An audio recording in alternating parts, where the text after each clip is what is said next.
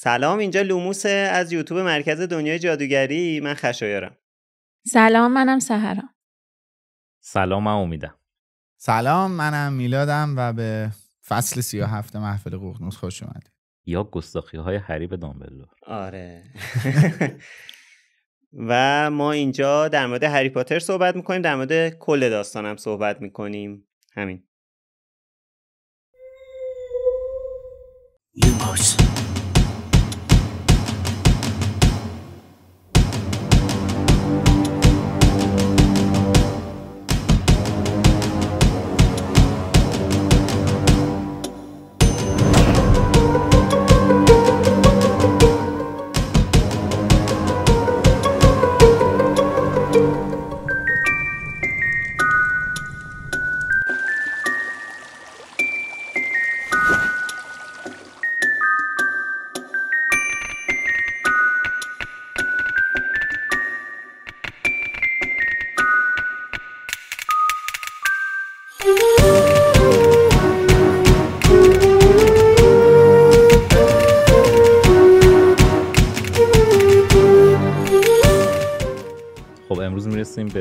مهمترین فصل کتاب هری پاتر و محفل ققنوس فصل 37 The Lost Prophecy به قول خانم اسلامی پیشگویی برباد رفته و خانم مقدس پیشگویی از دست رفته. به حال پیشگوییه که از بین رفته. برباد رفتم جالبه واسه خودش یاد اون رمان معروف آدم میفته آره. آره ولی از دست رفته فکر کنم من بیشتر دوستش دارم از دست رفته رو برای اینکه جفتشو مفهومو میرسونه دیگه. آره ولی آره. جفتشو مفهومو میرسونه. آره و حالا تاریخ هم که همچنان عوض نشده 18 ژوئن 96 و 29 خرداد 75 یه مورد حذفیات هم بیشتر نداره که من همینجا بگم که اه؟ این فصل 37 فصل 38 آها. در خدمتتون هستم. به به. به. آره. دیشب داشت فوش می‌داد. که خسته شده. فوش که نمونده. صفحه 903 کتاب جدید. پایین صفحه جایی که هری از انتقاد دامبلدور از سیریوس قاطی می‌کنه. نوشته که خشمی که اندکی فروش کش کرده بود بار دیگر در وجودش زبانه کشید. جمله بعد رو حذف کرده. حاضر نبود بگذارد دامبلدور از سیریوس بد بگوید. هم یه جمله رو حذف کرده بود. جالبه. ب- بگو حالا من تو طول اپیزود یکی دو تا جمله است. اتفاقا علامت زدم شک داشتم که ترجمه اشتباه باشه. حالا رسیدم می‌پرسم اما حامی مالی این اپیزود لوموس قاصدک 24 حتما می‌دونید که قاصدک 24 یکی از قدیمی ترین سامانه های ارائه دهنده خدمات سفره. این سایت خدمات خیلی متنوعی داره. از خرید بلیت هواپیما، قطار، اتوبوس تا رزرو هتل، تور، ویزا و بیمه مسافرتی. حالا قاصدک 24 یه سرویس جدید هم ارائه کرده. تورهای گروهی به مقاصد جذاب با تجربه های متفاوت. یکی از این تورهای گروهی تور ماجراجویانه نپاله. تا اسم نپال میاد همه به اورست فکر می‌کنن. خیلی فکر می‌کنن جاذبه نپال فقط کوههای هیمالیاست. اما نپال یه بسته کامل سفره. از طبیعت گرفته تا آثار تاریخی میراث یونسکو. از مردم مهربونش تا فرصت خرید صنایع دستی و لوازم طبیعت گردی. همه و همه با یه سفر ده روزه به این کشور میسر میشه.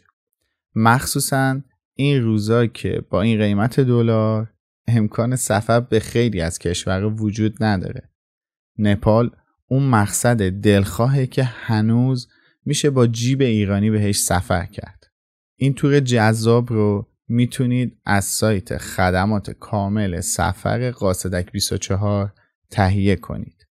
اطلاعات کامل در مورد این سفر اسرارآمیز تو لینکی که تو قسمت توضیحات قرار دادیم هست.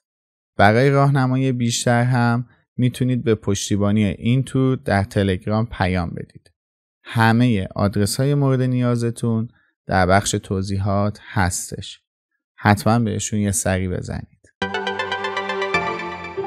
خب هری می‌رسه به دفتر دامبلدور و این لحظه با اینکه خیلی کوتاه تا وقتی که دامبلدور بیاد ولی اون تنهایی هری بیشتر از همیشه به چشم میاد خیلی طولانی میگذره و عذاب وجدان اتفاقایی که افتاده و همه این فکرها واقعا هری درگیر این مسائل بعد این وسط فینیاس به سیریوس هم اشاره می‌کنه. ولی بگو. آره. فینیاس به اون پشت صحنه داره اتفاقات می... آره. فینیاس به سیریوس هم اشاره می‌کنه. آیه میلاد. بفرمایید.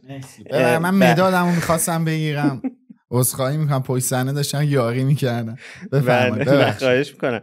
فینیاس به سیریوس اشاره می‌کنه هری اصلا حوصله نداره جوابشو بده.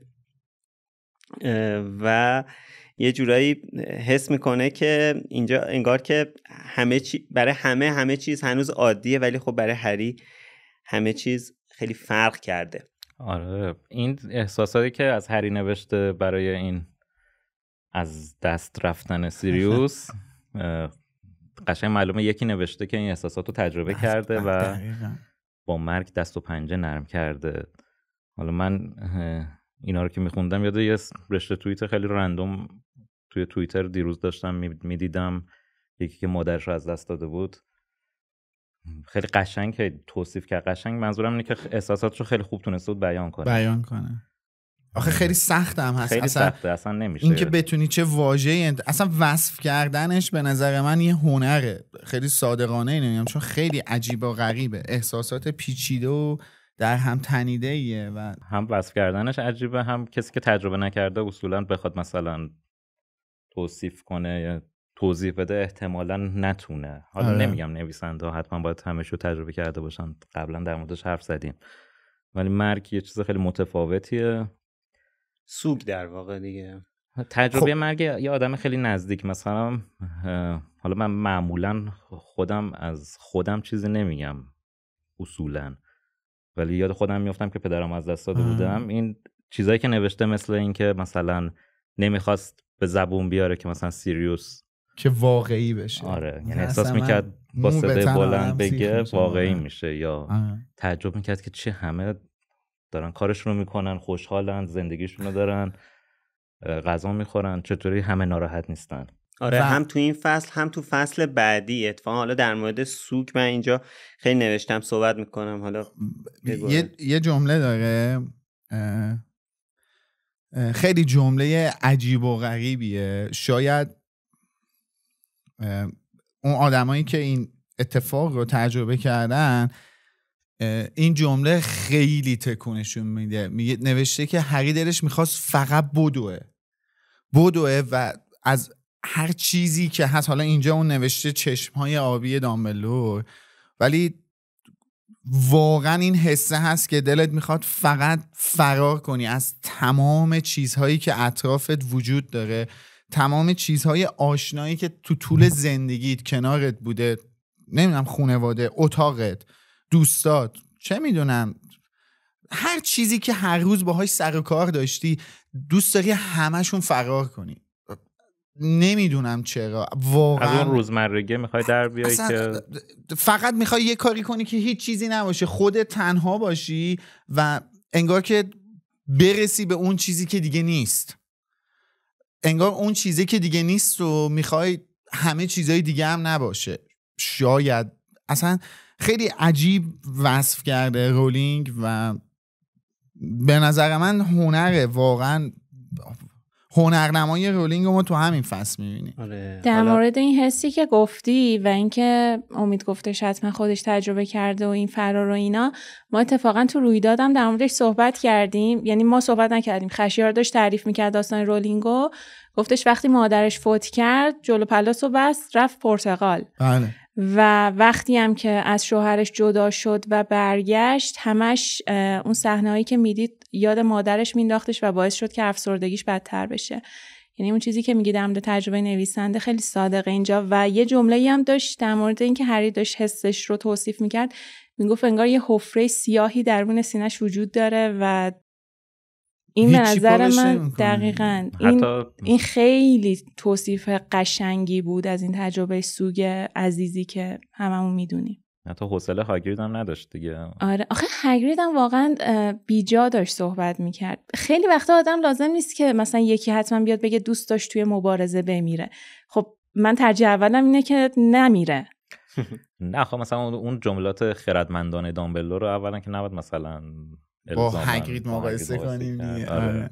کلا آره. آدم عامیه دیگه و. ولی مشخصه چقدر اهمیت میده و چقدر دوست داره مثلا به هر طریق اونو آروم کنه آره، اونم با. چیزایی که خودش بلده و از دستش برمیاد یه سری آره. چیزا میگه دیگه حالا من خواستم بگم که در مورد هگرید اینا با توجه که تو فصل بعدی این فصل چون خیلی صحبت داره آره می‌تونیم که توی فصل بعد بیشتر در موردش صحبت کنیم. ولی من یه بذار یه جمله آره. دیگه در مورد همین اتفاقات بگم. با توجه به حرفی که سحر زدش ریچارد دورهام توی کتاب خاطرات محمد علی کلی نویسنده کتاب زندگی نامه محمد علی کلی ریچارد دورهام که کلی هم جایزه گرفت واسه همون کتاب. نوشته دردی که امروز می‌کشی موقتیه. ولی عظمتی که به دست میاری همیشه باهات باقی میمونه. می‌دونید چرا این جمله رو میگم؟ این این درد درد سوگ درد از دست دادن خیلی غم انگیزه ها و متاسفانه بالاخره اجتناب ناپذیره برای تمام می‌دونی؟ کوله روشن شد خراب آره امروز امروز با موزل چی نوسان کولر مواجه آره. هستیم. اه، متاسفانه اجتناب ناپذیره. چیزیه که چه بخوایم چه نخوایم یه روزی یه جایی هممون باش روبرو میشیم آره دقیقا منم همینو می‌خواستم بگم. واقعا این که مثلا میگن ایشالله فلانت آره، نشه نه دیگه یا ببین، یا خودتون میمیرین یا یکی از نزدیکانتون واقعا اصلا خود خود که- خود دامبلدور یه جایی میگه بزرگترین حقیقتی که ما تو زندگی باش روبرو میشیم مرگه و خیلی صادقانه اجتناب ناپذیر نیستش. خیلی درد داره خیلی درد داره خیلی درد داره و خیلی اذیت کننده است متاسفانه. و اینکه آدم ها چجوری باهاش کنار میان و چجوری ازش گذر می‌کنن برای هر کس پروسه پیچیده و متفاوتیه که اصلا اینجوری نیستش بگم. من تجربهش کردم. حالا من مثلا بعد دو ماه اوکی شدم. تو چرا بعد مثلا شیش ماه هنوز اینجوری؟ اصلا خیلی متفاوته. جالبی گفتی. چون مثلا این اتفاقی که من بر خودم رو گفتم پدرم مال مثلا نزدیک یک سال قبل از لوموس لوموس آره. آره من از اون موقع تا حالا مثلا 90 درصد خوابای من همین موضوعه بله میفهم اصلا مثلا چیزی نیست مثلا بگم در طول روز من دارم به اتفاقات 5 6 سال پیش مثلا فکر می‌کنم و نه. نه اصلا یه جوری حک میشه توی روح. آدم که دیگه بیرون نمیاد. ببین این از اون- یه بار توی season تالار اسرار بود فکر کنم. این از اون اتفاقاتی توی season زندانی آسکابان بود. توی قطار جایی که دمنتورا با هری برخورد می‌کنن و صدای لیلی رو میشنوه کولرمون دوباره خاموش شد. هری, دو... هری صدای- دهن editor قرار آره. کیفیت صدا اگه خیلی مناسب نبود. آره. موردش رو editor رو نبرن بغلت نشست جای... جایی که دیگه. آره دیگه ما من و خشایار با سر کله بزنیم مشکلی نیست. ولی جایی که دمنتورا به هری حمله می‌کنن و صدای لیلیو میشه من گفتم ببین یک سری اتفاقات چه تأثیری رو می‌ذاره که هری اصلا ندیده اون صحنه رو یادش نیست. ولی اون دمنتور چون داره یک چیز تاریکی رو از درون می‌کشه بیرون هری, هری صدای آخرین صدای لحظه مرگ مادرش رو داره میشنوه. و دقیقا این چیزی هم که شاید ما به صورت اون حالا ما که میگم آدم هایی که با یک همچین کانسپتی با یک همچین مفهومی درگیر بودن شاید اصلا هرگز دیگه بهش فکر نکنن. ولی توی بخشی از وجود آدم این نشسته و اثر گذاشته که اصلا کنترل کردنش دست تو نیستش. و به شکل عجیب و غریبی باهاش درگیر میشی دوباره. و اصلا این این جمله رو چرا گفتم؟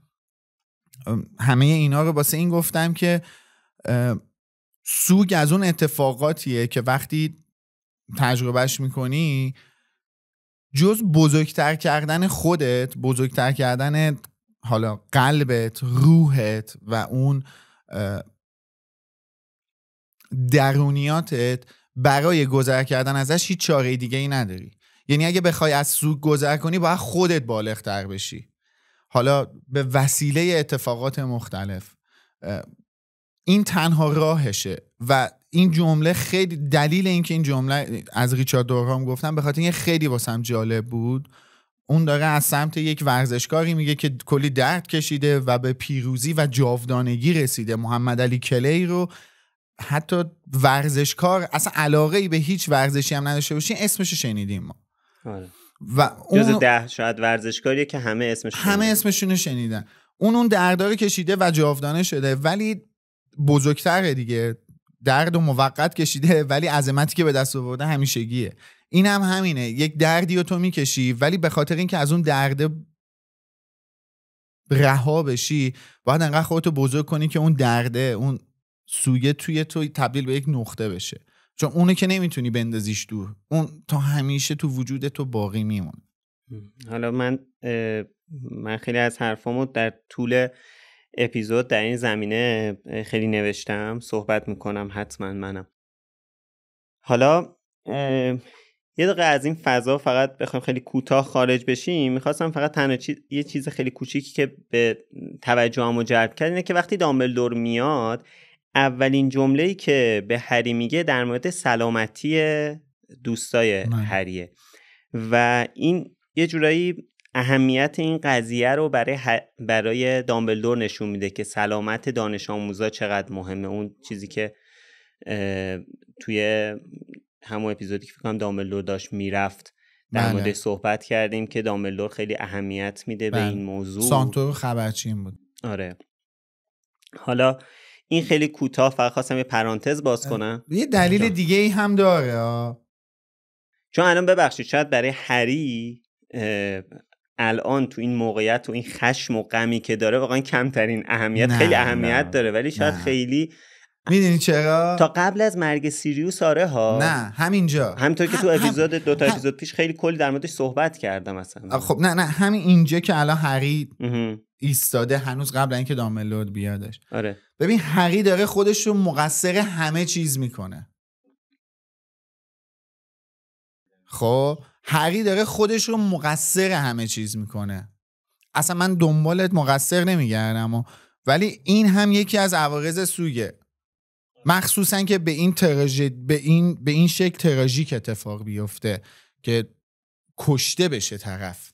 حالا مرگ طبیعی غیر بیماری اونا یه خود تسکین میده. چون یه حالتی داره که خب منتظر آره یه آمادگی رو در تو ایجاد می‌کنه. ولی به این شکل تراژیک باعث میشه که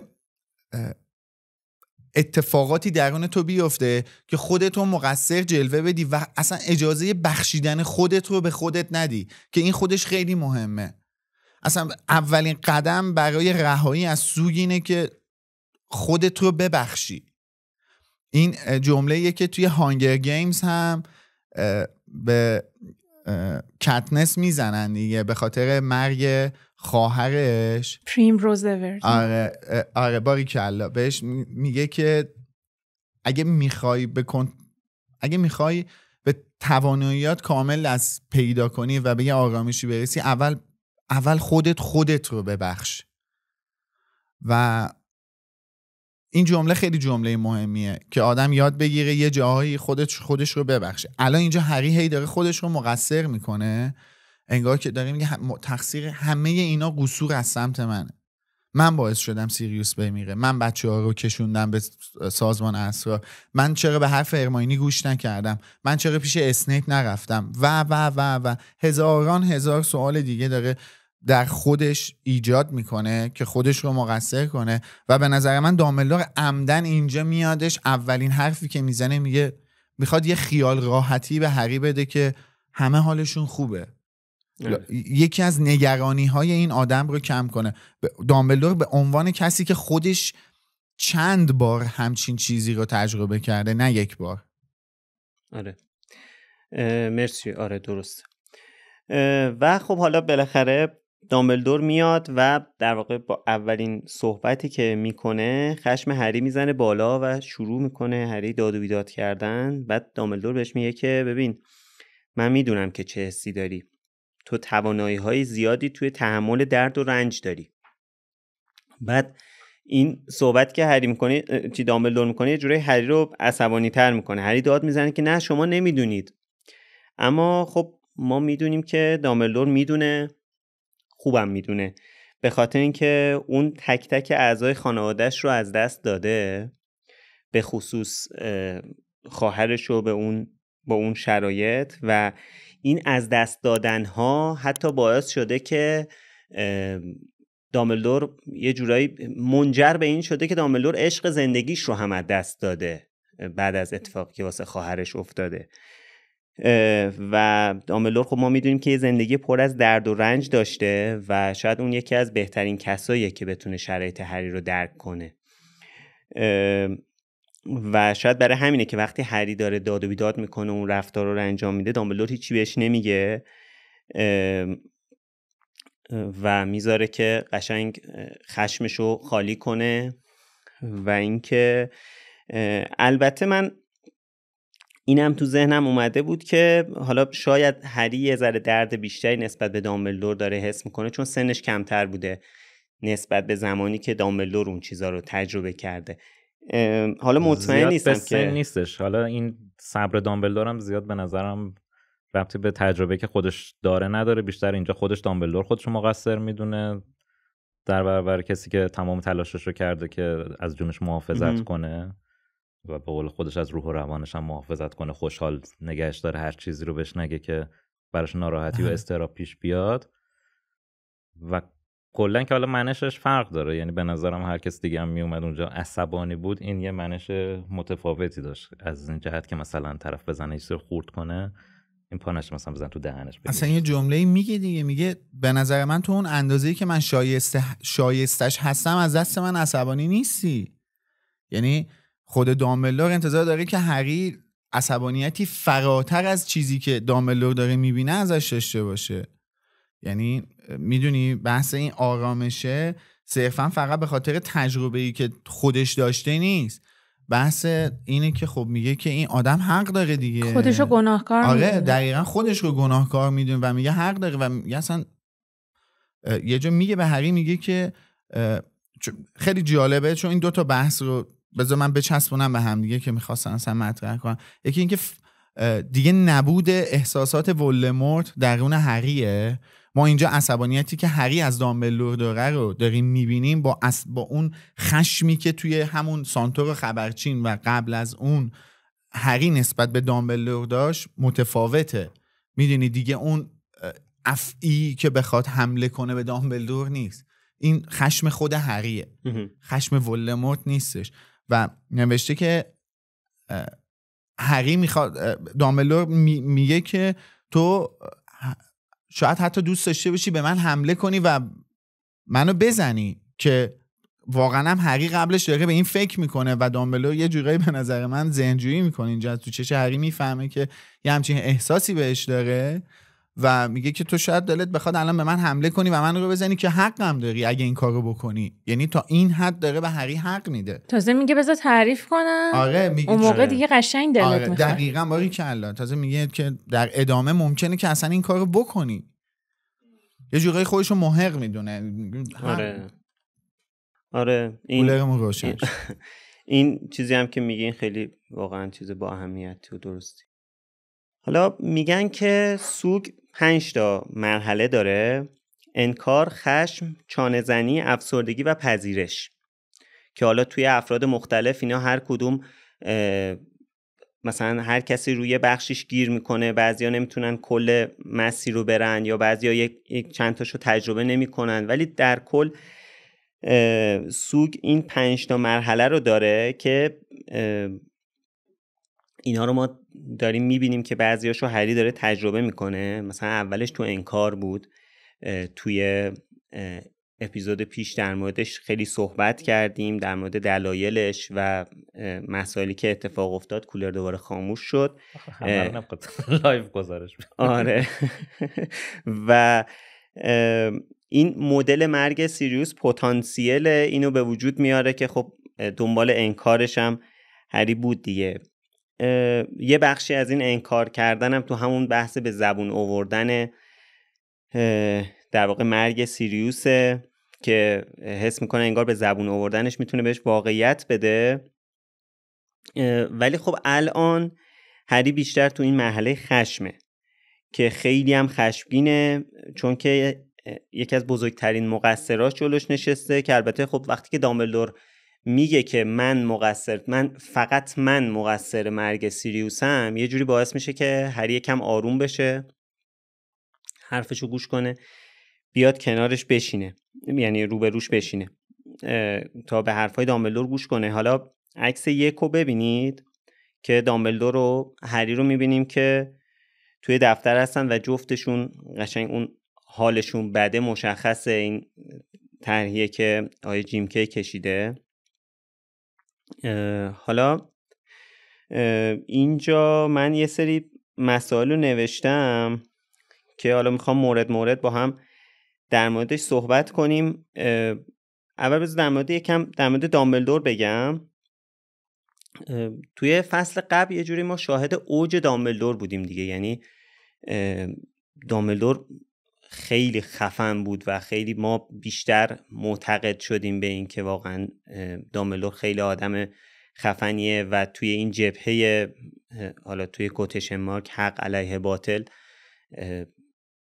خیلی آدم درستی و خیلی حس مثبتی داشتیم به دامبلدور بله. توی چیز توی فصل قبلی و به عنوان یکی از بینقصترین شخصیت ها دیده می‌شد ولی خب اینجا دامبلدور شروع می‌کنه به اقرار کردن به اشتباهاتی که کرده و تمام صحبت که ما در طول این سیزن می‌کردیم رو حساب این حرفایی بود که دامبلدور اینجا می‌زنه دیگه. اینکه همش من می‌گفتم اینجا تقصیر دامبلدور تقصیر دامبلدوره به خاطر اینکه اینجا خود دامبلدور داره این حرف رو می‌زنه و اینجا یه جورایی شروع این روندیه که رولینگ شروع کرد تا حالا کتاب هفت یه سری جنبه های منفی در مورد دامبلدور گفت یا تلاش کرد به نحوه های مختلف یه سری چیزای منفی در مورد دامبلدور بگه که این شخصیت رو هم مثل بقیه یکم خاکستریش کنه. هرچند که بازم اینا جنبه منفی نیستن که مثلا بتونه شخصیت خاکستری کنه. اینکه مثلا یکی تصمیم اشتباه بگیره جنبه مخفی شخصیت نیستش. یعنی اینجوری بخوای حساب کنی مثلا هری از سیاه هم رد میشه دیگه. چون تصمیم اشتباه شخصیت رو بد و منفی نمی‌کنه. و اینجا هم دامبلور از رزالتش مثلا نبوده که بخواد این کار رو بکنه. یه سری برنامه ریزی داشته که به قول خودش اشتباه بودن تصمیمایی گرفته که اشتباه بودن. نتیجه گیری های اشتباه انجام آره. درسته. من منظورم اینه که به هر حال دامبلور از اینجا شروع میشه که دامبلور یه جوری از اون بوتی که برای ما داشت تا اینجا که همه تصمیماش چه جوری احساس کردیم درسته و همه چیش واقعا یه شخصیت کاملا سفید منظورم اون چیز درونیه یا اون رزالت اخلاقیش نیست. فقط همین معنی رو میده تو مثلا اگه بخوای اون جنبه رو نگاه کنی مثلا اونقدر کامل نیستش همه چی دون مثلا شاید نباشه. اشتباه هم داره. ولی اینجا ما هیچ سیاهی که هیچ هیچ خاکستری هم از دامبلدور نمی‌بینیم فعلا. ببین دامبلدور همیشه اون شخصیت پیر دانه و خردمند داستان بوده. و اینکه بخوای بیای اینو سفید سفید بدونی و سر کوچیکترین خطایی بخوای مثلا سیاهش کنی مثل دقیقا بوت دونستن اسنیپ میمونه. یعنی اینکه خب باید قبول کنین که طرف آدم یه خطایی ازش سر می‌زنه دیگه. مثلا نمیشه که بدون خطا باشه تو همه کاراش بدونه که می‌خواد چی کار کنه. آره خب ما همیشه سر که... دامبلدور که صحبت می‌کردیم این بود که آقا دامبلدور هم آدمه خب خطا می‌کنه. و تو با یه خطای کوچولو نمی‌تونی یه شخصیتش رو ببری زیر سال.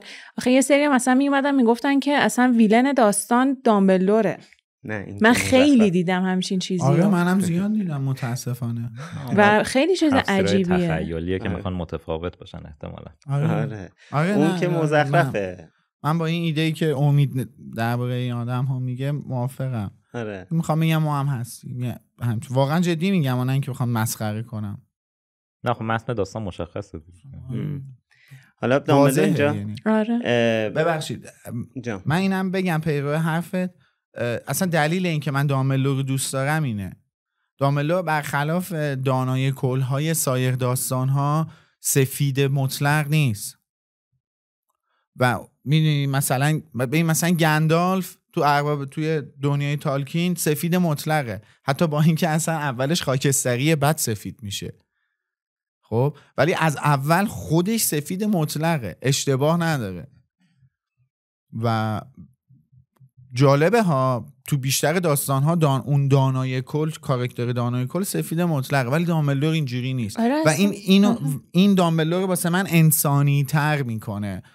می‌دونی چی میگم؟ قابل درک تر می‌کنه. متفاوت می‌کنه که آخر آه. هنوزم اینجای داستان دامبلدور تا آخرین کتاب سفیده. آره. آره ما تو یادگاران مرگ از گذشتش که با خبر میشیم اونجاست که دامبلدور از سفیدی متمایل به خاکستری کلا میشه. یکی از مزیت‌هایی که هری پاتر نسبت به ارباب حلقا داره همین شخصیت پردازیاشه یعنی ارباب حلقا بیشتر اون جهانش قدرتمند و خفنه.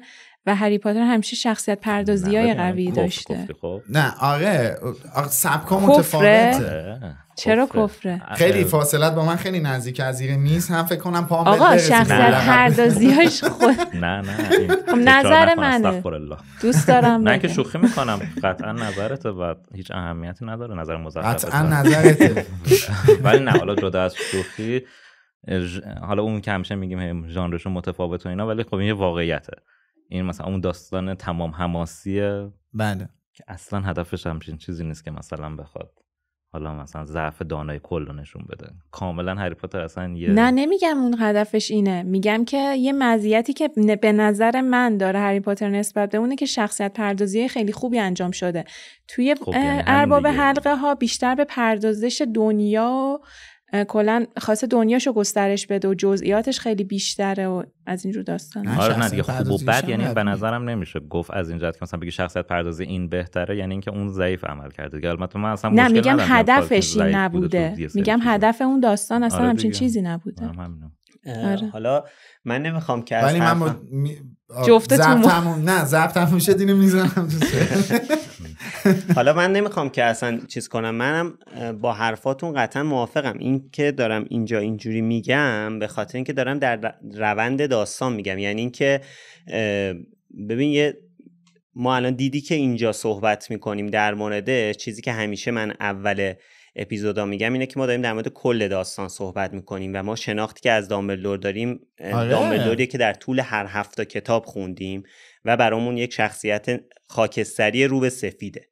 خب ولی مثلا وقتی که تا قبل از این فصل من خودم وقتی که کتاب هری پاتر رو میخوندم دامبلدور یه سفید کامل بود. خب و این یعنی اینجوری بود که این شخصیت قرار نیست هیچ اشتباهی بکنه. همیشه تصمیماش درسته همیشه میشه روی تصمیماتش حساب کرد و وقتی می‌رسم به اینجا می‌بینم که خود این شخصیت داره میگه که من اینجا رو اشتباه کردم.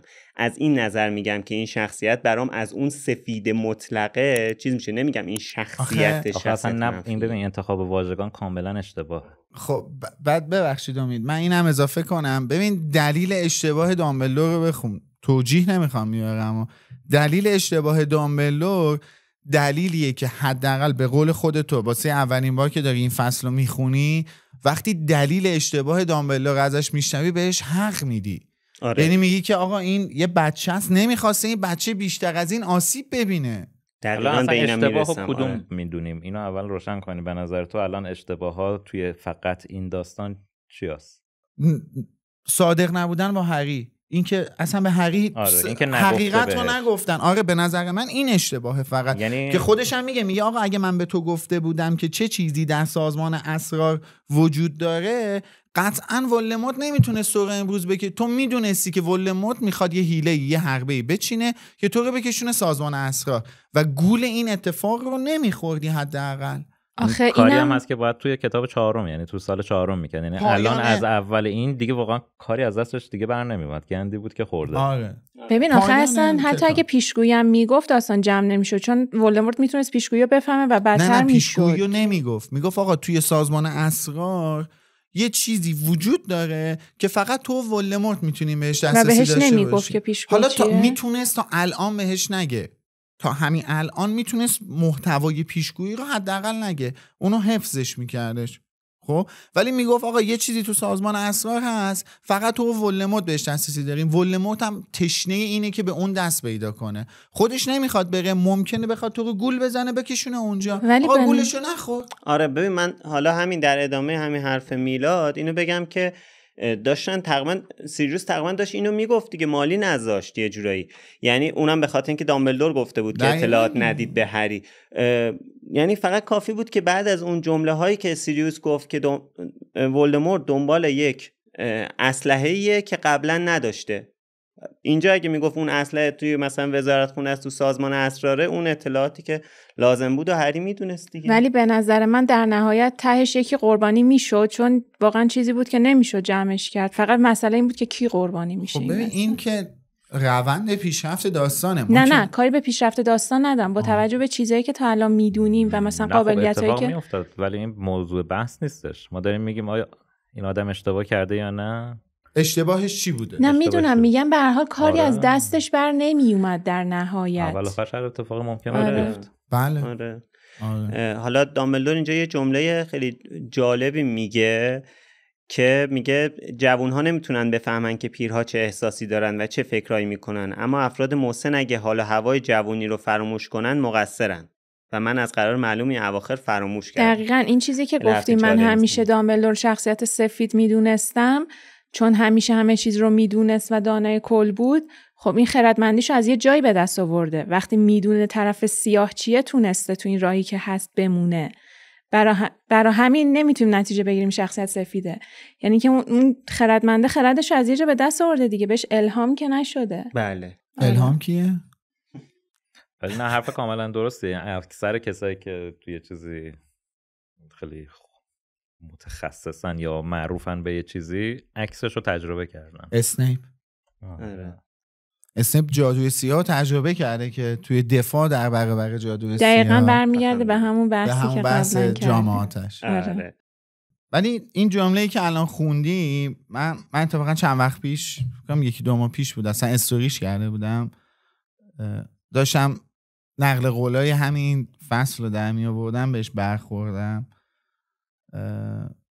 دو تا جمله خیلی جالب داره دامبلو. دو تا یا سه تا جمله خیلی جالب داره توی این فصل. یکیش همینه. دلیلش هم صرفا اصلا واسه این میگم که میگه اگه پیر اگر پیرها اون حس و حال جوونی رو فراموش کنن مقصرن. نمی‌دونم تا حالا تو زندگیتون با آدم هایی برخورد داشتین که سن خیلی زیادی دارن ولی به شکل خارق‌العاده‌ای با هر رده سنی مثل خودشون رفتار می‌کنن من خب چند نفر رو دیدم و اصلا بررسیشون کردم. مثلا می‌دونی مثلا نگاه کردم به رفتارشون مثلا با یه بچه 7 8 ساله عین یه بچه 7 8 ساله رفتار می‌کنن بازی می‌کنن حوصله دارن با یه نوجوان میشینن حرفایی رو می‌زنن که انگار مثلا دغدغه های اون نوجوانه با یه جوون با یه پیرمرد با یه پیرزن. اصلا خیلی عجیبه. و برعکسش هم دیدم. پیرهایی که حوصله هیچ کسی رو ندارن توی یک شرایط از زشت تقریبا گیر کردن و اصلا حوصله همصحبتی با هیچ کسی رو ندارن حوصله هیچ جور آدمی رو ندارن. من از اون پیر مردم شد دقیقا من خواستم بگم از اون پیر زناش می‌دونی یه فیلم داره کلینت ایستوود فکر کنم جز آخرین فیلم که خودش ساخته. اسمش جی تی ایه در مورد یه فورد موستانگ و یه همسایه مهاجر کره ای دارن. از اون پیرمرداست دقیقا. کلینت ایستوود توی اون فیلم.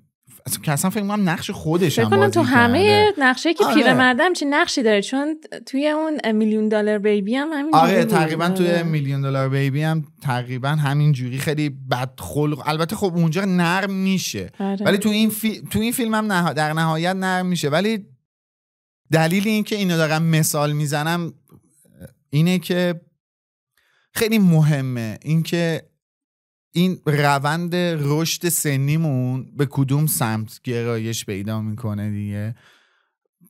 منجر به عاقبت خودمون میشه در واقع. اینکه تنها باشی یا دور چلوغ باشه. در واقع خیلی تاثیر می‌ذاره.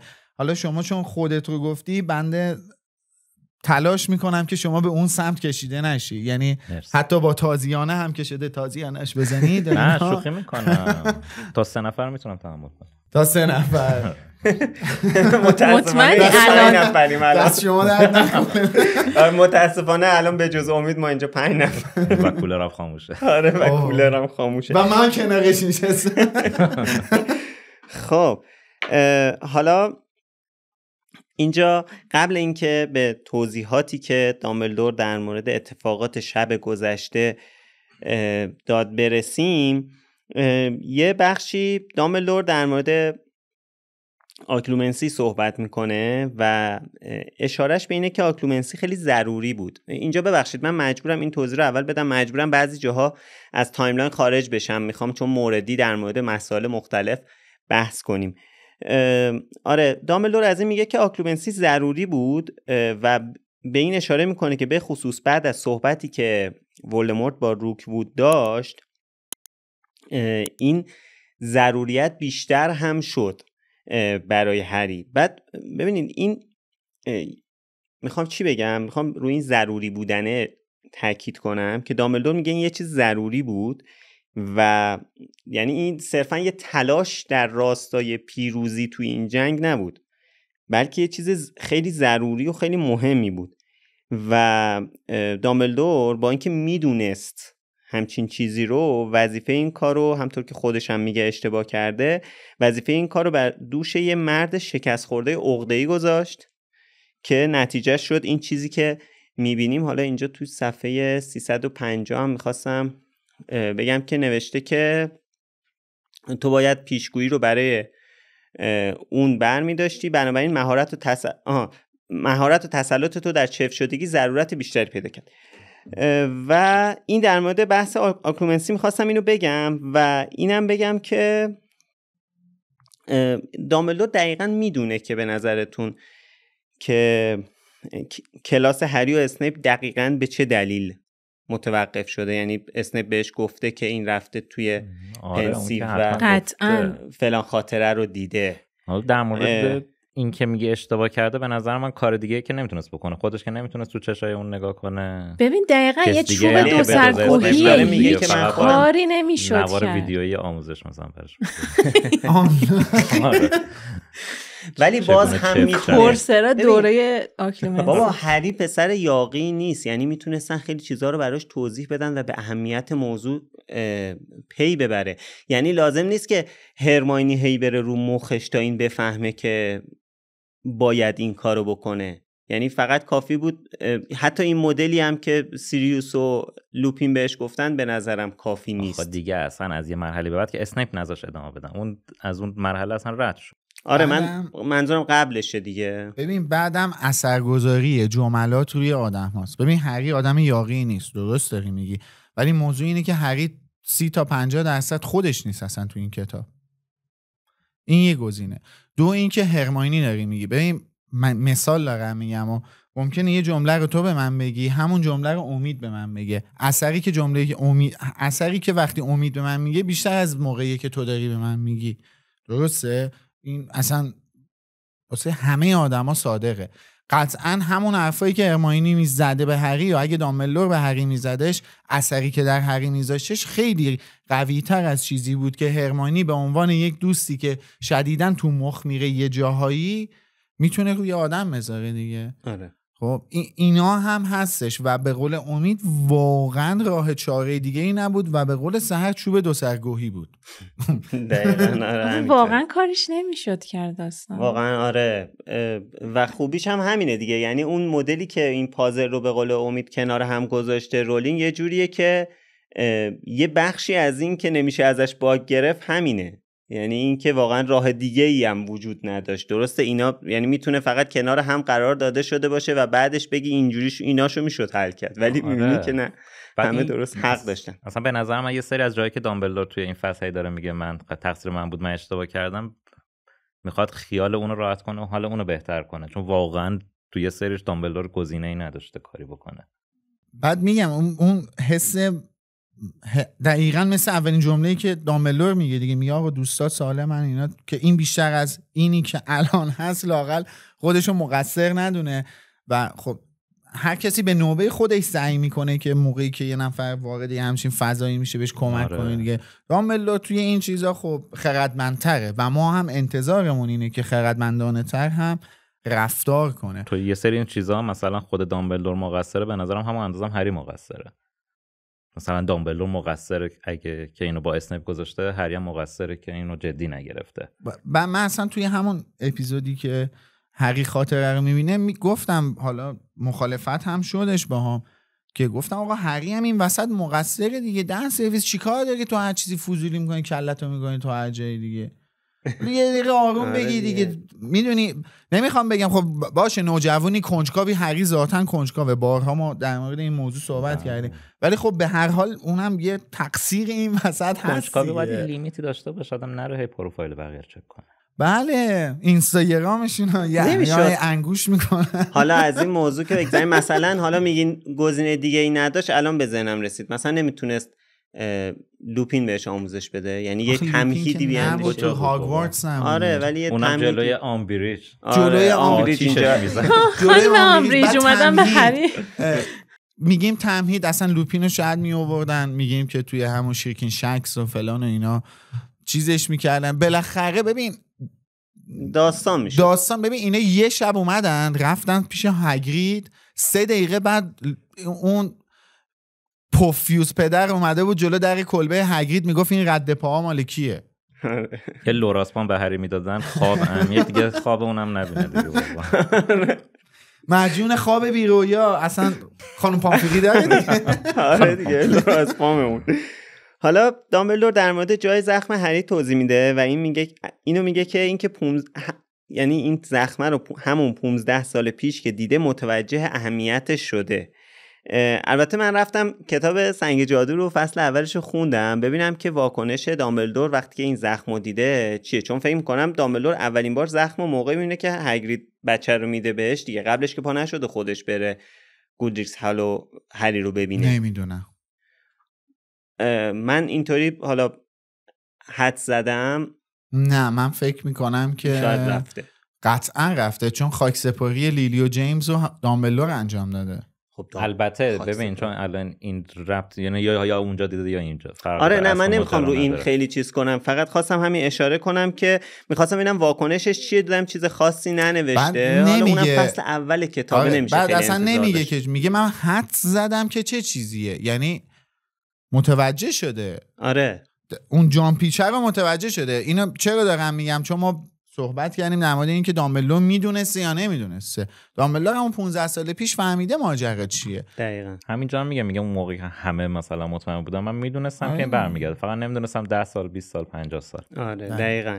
و اینجا به ارتباط ولدمورت و هری از طریق این جای زخم اشاره می‌کنه و یه نکته جالبی میگه. میگه که میترسیده ولدمورت از ارتباطش با هری برای جاسوسی از دامبلدور و نابود کردن اون استفاده کنه. در حالی که الان متوجه شده اشتباه فکر می‌کرده هدف ولدمورت خود هری بوده نه دامبلدور. به نظرم این اش... این چیز خیلی عجیبیه. یعنی یعنی من- البته اش... گفته. همچین اشتباهی کرده. من الان دیالوگو یادم نمیاد. چون خب قطعا ولدمورت همچین چیزی هم می‌خواد دیگه. ببین میگه که خیلی میگه من مشخص. همیشه میترسیدم که ولدمورت بخواد از طریق تو به من برسه ولی من اشتباه می‌کردم. هدف ولدمورت خود تو بودی و می‌خواست تو رو من رو مجبور کنه که تو- رو قتل برسونم به خاطر اینکه من تو وجود آره، یعنی که که ولدمورت تو وجودش. اونجا توی اون صحنه. خب اون تو میگه خب به خاطر همین اونو مثال می‌زنه دامبلدور. خب من فکر می‌کنم این خیلی حالا میلاد یه لبخندی داره از این لبخندایی که جوابو میده نه من دارم به سهر میخندم که بنده خدا داشت تلاششو می‌کرد و دامبلور تو وجود گومبولی گومبولی آره ولی چیزه من فکر می‌کنم که به نظر من این اشتباه خیلی عجیبیه. یعنی که حداقل از باز از این جمله رو خیلی امید دوست از دامبلدور انتظار دارم که اشتباهی اینو من میگم. نکرده. ببین اگه اونجا رو داره منظ... منظورم به حرف تو نیست کلا دارم میگم. اگه دامبلدور منظورش اون اتفاق مشخص توی وزارت خونه خب. آره یعنی حدس نمی‌زده که ولدمورت بخواد اونجا همچین کاری بکنه. ولی به صورت کلی که قطعا ولدمورت می‌خواد اطلاعاتی از دامبلدور و برنامه‌هاش بدونه. ببین بگیم دامبلدور هری رم قبلش- بکشه. به هر حال همچنان دامبلدور رو داره. خب بذار بهت بگم. ببین دامبلدور قبلش داره چی میگه؟ ق... دامبلدور اصلا اینجوری شروع می‌کنه هر این حرفشو با هری. میگه فکر می‌کنی برای چی تو این یه سال اصلا نگاهت نمی‌کردم؟ به خاطر اینکه میترسیدم اینطوری و فهمیدم اشتباه می‌کردم فهمیدم که هدف ولدمورت کشتن تو بوده نه شکست دادن من. نشون به اون نشون که اونجا هم که رفته بود توی جسم تو دنبال این بود که تو رو بکشه. آره اگه دقیقا هم منظورش همین باشه من میگم به هر حال اشتباه نکرده. چون ولدمورت من میگم این اطلاعات هم می‌خواست. ولدمورت قصد هر دو رو داشته. منظور امید اینه. ولدمورت قصدش هم جاسوسی از دامبلور بوده هم کشتن و هم هری. کشتن هری منظور امید این درست میگم. منظور امید اینه یعنی اینکه دامبلور بازم اشتباه نمی‌کنه حتی اگه اون قصد اولی هم داشته یعنی جاسوسی از دامبلور بازم اشتباه نکرده که دامبلور این کار می‌خواد بکنه دیگه ولدمورت دنبال جاسوسی ام. از دامبلور دیگه کما اینکه خود خود دامبلور هم دنبال جاسوسی کردن از ولدمورته آره خب پس هر دوتا رو در حال وقوعه از این نظر دامبلور اشتباه نمی‌کنه یعنی اصلا به نظر من ولدمورت هری رو به عنوان یه مانعی برای جاسوسی یا اصلا مانع. آره یه مگسی سر راهه که اینو بکشه پیش بعد خودشه که آره. در واقع که اینجوری نیست که پیش بعد برسه تازه به اینجوریه. محفلیا و آره. رأسشون دامبلدور این الان دقیقاً. هری از بین بره مثلا با اون چیکار می‌خواد بکنه. حالا بعدش دامبلدور در مورد اتفاقات دیشب توضیح میده از خوابی که هری دیده و ارتباطی که با قرارگاه داشته بعد رفتار اسنیپ و حالا سیریوس و همه این چیزا که در طول این اپیزودا با جزئیات در موردش صحبت کردیم فقط دو تا دو تا چیز خیلی کوچیک در مورد اون بخشی که هری به اسنیپ در واقع یه چیزی گفت. ما توی اپیزودش در مورد این صحبت کردیم که به نظرتون من پرسیدم که به نظرتون هر اسنیپ از طریق چی بود ذهنجویی متوجه شده یا از طریق این جمله‌ای که هری گفت؟ اینجا دامبلدور میگه که وقتی که تو اون هشدار رمزی رو به چیز دادی سیوروس چی میگن؟ بلا بلا بلا. خب من از این جمله این نتیجه رو گرفتم که اسنیپ از روی جمله ای که هری گفته متوجه قضیه شده. گاو هم بود می‌فهمید؟ خب. حالا اونو که اینو که تو همون خود اپیزودم گفتی. تاکید دارم. بذار یه دقیقه قبل اینکه بریم توی توضیحاتی که دامبلور داره میده پیرون بحث قبلی آها. که من چون رد شدیم ازش می‌خوام ولی ببینی از اون جمله کوچیکه که خیلی مهمه. ببین یه جمله خیلی کوچیکه گفتم ولی نمی‌تونم من ازش رد شم. همونجا که دامبلور داره در مورد تمام این چیزا میگه که اون می‌خواست تو رو بکشه من اشتباه می‌کردم و غیره که کلی صحبت کردیم ماجرا چی بوده؟ میگه این کلمات در ذهن هری به آرامی می نشست. چند ماه پیش او اشتیاق فراوانی برای شنیدن این مسائل داشت در حالی که اکنون در مقایسه با شکاف عظیمی که فقدان سیریوس در وجودش ایجاد کرده بود این مسائل در نظرش بسیار پوچ و بیمعنا بود. اینکه یک اتفاقی سر جای خودش بیفته اینجا می‌بینید چقدر تاثیرش رو داریم می‌بینیم دیگه. تمام این هر خود اصلا کاری ندارم که سیریوس اون اتفاق واسش افتاده. کلی هزینه رو دست هر دو جبهه گذاشته شده. هم جبهه تاریک هم جبهه روشن. و و و. با هیچ کدومش کاری ندارم. احساسی که هری الان نسبت به این ماجرا داره فقط همینو می‌خوام بگم. احساسی که هری نسبت به چند ماه پیش داشت جون می‌داد حاضر بود هر اتفاقی بیفته. فقط بفهم آقا ماجرا چیه؟ چی شده؟ ولی الان اصلا دیگه واسهش اهمیتی نداره. اصلا کون لق ولدمورت. اصلا گور پدر همه دنیا. سیریوس دیگه نیست. و فکر می‌کنم نزار قبانی شاعر عرب که میگه سلام بر هر چیزی که به موقع اتفاق میافته. یه این هم از اون درداست که متاسفانه خیلی باسه هممون پیش اومده. اتفاقاتی که اون موقعی که با میافتاده نیفتاده و موقعی که اتفاق افتاده دیگه پشیزی ارزش نداشته برام. حالا که در مورد این فقدان سیریوس گفتی من یه جمله تو ذهنم بود ولی جا براش پیدا نمی‌کردم گفتم بذار الان بگم. برمیگردم به اون جمله که می‌خوام در مورد ارزش حضور سیریوس توی زندگی هری بگم و اون جمله که دامبلور توی کینگز کراس به هری میگه که میگه که همون جمله معروفش که میگه برای اونایی دلسوزی کن برای. زنده ها دلسوزی کن و اونایی که بدون عشق زندگی, زندگی. دلت برای مرده ها آره چون روی این بخشش الان تاکیدم آره، آره. سیریوس کسیه که برای مرده ها خیلی دلسوزی نمی‌کنه و بیشتر به هری دلیلی میده می‌داد یعنی که به زندگی و به اونهایی که به عشق اهمیت میدن در واقع ارزش هری به اونا ارزش رونا ارزش گذاری کنه به اونا رو بیشتر ببینه یعنی این سیروس دلیلی بود برای اینکه هری این حس رو داشته باشه بله. به خاطر همین میگم یعنی این ارزش سیروس یکی از ارزش های سیروس توی زندگی هری بله. به خاطر گذشته سیریوس هم هست دیگه خب این نه خونه خوبی داشته نه پدر و مادری داشته بله. نه برادر خوبی تا اون موقع که میشناختتش داشته و بعدش هم که افتاد آسکابان یعنی بخواد به گذشته فکر کنه رسما از این خلوچلتر آره میشه و بهترین دوستش هم تو 20 سالگی از دست داده. آره می‌دونی دیشب حسین دیالوگ های حذف شده یه فیلم محفل ققنوس گذاشته بود. یه دیالوگ متاسفانه حسین هم میره اصلا یه چیزایی پیدا می‌کنه که داغ دل آدم رو تازه می‌کنه لعنتی. یه دیالوگ بین هری و سیریوسه دقیقا پایین تاقنما فکر کنم آخرین دیالوگیه که هری و سیریوس با هم دارن توی فیلم. سیریوس دقیقا همین حرفی که تو زدی و به هری میگه. میگه من اصلا زن... دیشب میگه من اصلا زندگی نکردم تو آره. زندگی میگه دقیقا میگه من اصلا زندگی نکردم. تا به خودم اومدم رفیقم مرد. بعدش دوازده سال افتادم تو آسکابان و تمام این تمام این مدت دلخوشیم فقط تو بودی و من دیگه حاضر نیستم تو غم از دست بدم. یه ماه تن من و اصلا خیلی عجیبه. و من نمی‌دونم اصلا چرا ما همچین دیالوگی حذف بشه. اصلا چقدر سهر دقیقه. دقیقا به خاطر هیجان اون صحنه حذفش چون خوب می‌شده فیلم حذف آره. یه چه چیزایی رو فدای چه چیزایی کردن بذار آره. برینیم توش.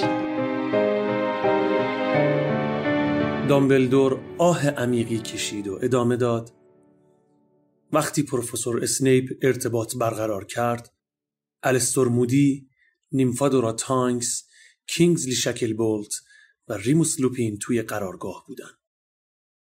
همگی توافق کردند که فوراً به کمک تو برن. پروفسور اسنیپ درخواست کرد که سیریوس همراهشون نره. چون لازم بود یه نفر توی قرارگاه بمونه تا به من بگه که چه اتفاقی افتاده. چون هر لحظه ممکن بود من برسم اونجا. در همین حین خود پروفسور اسنیپ قصد داشت که توی جنگل دنبالت بگرده. ولی سیریوس نمی‌خواست بقیه وقتی بقیه دارن میرن دنبالت بگردن دست رو دست بذاره. این وظیفه رو به کریچر سپرد که اتفاقات رو برای من شرح بده. و این طور بود که کمی بعد از اینکه همه آزم وزارت خونه شدن به خیابون گریمولد رسیدم و الف بود که همونطور که داشت از خنده روده بر می‌شد به هم گفت که سیریوس رفته. هری با لحن بی احساسی گفت داشت میخندید؟ دامبلدور گفت او بله آخه می‌دونی کریچر نمی‌تونست کاملا به همون خیانت کنه کریچر رازدار محفل نیست نمی‌تونست جای ما رو به ملفوی ها لو بده یا هیچ کدوم از نقشه های سری محفل رو که از فاش کردنشون منع شده بود لو بده مجبور بود به افسون الف ها پایبند باشه یعنی نمی‌تونست از دستور مستقیم اربابش سیریوس سرپیچی کنه ولی نوع دیگه از اطلاعات رو به نارسیسا داد که برای ولدمورت خیلی با ارزشه. اما ظاهرا از نظر سیریوس اونقدر پیش با افتاده بود که به فکرش نرسید کریچر رو از فاش کردنش منع کنه. هری گفت مثلا چی؟ دامبلدور به آرامی گفت مثلا اینکه عزیزترین آدم دنیا پیش سیریوس تو هستی. مثلا اینکه سیریوس برای تو داشت کم کم ترکیبی از پدر و برادر می‌شد.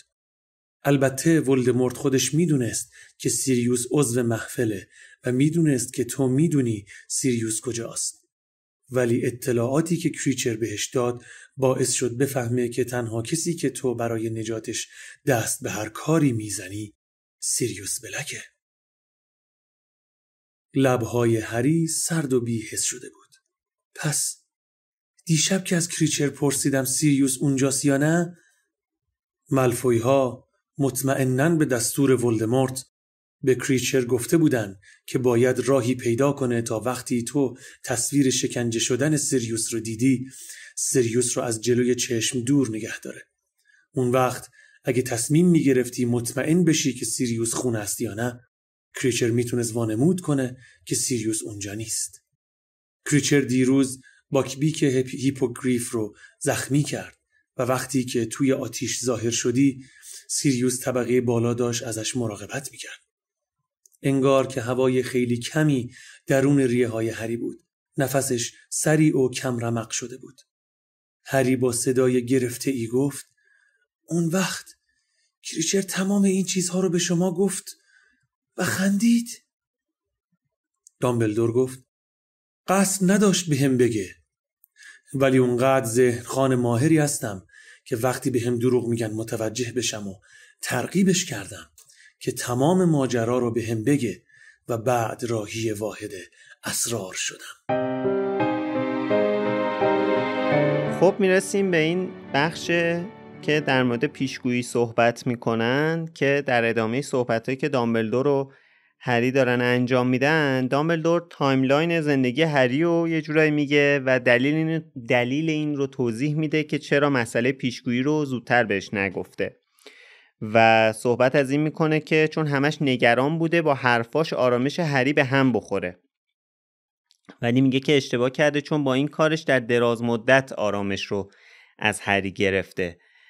ضمن اینکه حالا این در واقع حرف منه.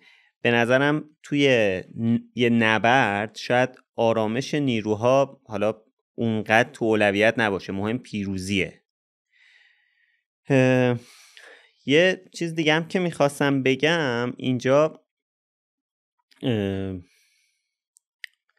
اینجا دامبلدور میگه که من بیشتر از اون که بتونی تصورشو بکنی مراقبت بودم. نمی‌خواستم رنجی بر رنج هایی که کشیده بودی اضافه کنم. می‌خواستم بگم که وقتی که توی آخر کتاب یادگان مرگ می‌خونیم که اسنیپ به دامبلدور میگه تو بزرگش کردی که مثل یه خوکی که میپروروننش بکشیش این چیزی که دامبلدور اینجا داره میگه این دغدغه روزانش در طول پنج سال گذشته رو یادمون نره. اینکه دامبلدور واقعا دنبال این نبوده. یعنی این دارم حرف اسنیپ رو زیر سوال می‌برم. میگم که دامبلدور انقدر می‌خواسته مراقب هری باشه که یه سری مسائل کوچیکی رو ازش پنهون کرده تا مثلا رنجی بر رنجهاش به قول خودش اضافه نکنه. ضمن که هری نیرو نبوده که بخواد به فکر آماده کردنش باشه. بچه 11 ساله یعنی اصلا فکر نمی‌کرده همچین اتفاقایی بیفته. خودش هم اینجا میگه ثابت کردی که خیلی بارای بیشتری رو می‌تونی به دوش بکشی. یعنی که مثلا از اول نگفته اشتباه استراتژیکی تو آماده سازی نیروها نبوده. توی اون نبردی که گفتم؟ نه یعنی کلا برای نبرد منظورش یعنی یعنی هری سرباز نبوده برای دامبلور که بخواد تو فرایند آماده سازیش دچار قصور و اشتباه بشه. هری قربانی بوده در, در آره. واقع. هری یک قربانیه توی این ماجرا. ولی اتفاقایی که توی سال تحصیلش تو هاگوارتس میفته به دامبلدور چیزی دیگه آره، ثابت می‌کنه. جنبه جدیدی از هریو به و دامبلدور اونو نشون تبدیل میده. به از قربانی تبدیل به قهرمان انگار یه جورایی. و همون تبدیل به نیرو می‌کنه. و چیزی هم که گفتی آرامش نیروها اولویت نداره. اینجا اتفاقا دامبلور دنبال آرامش هری بود و نمیگه من نمی‌خواستم تا آرامش داشته باشی. اشتباه کرد و گذاشت هری آرامش لحظه ای داشته باشه. که اگه همچین چیزی رو نمیزا یعنی همچین کاری رو انجام نمی‌داد چه بسا الان اون آرامش طولانی مدتش پاورجا بود. همینو گفتم دیگه.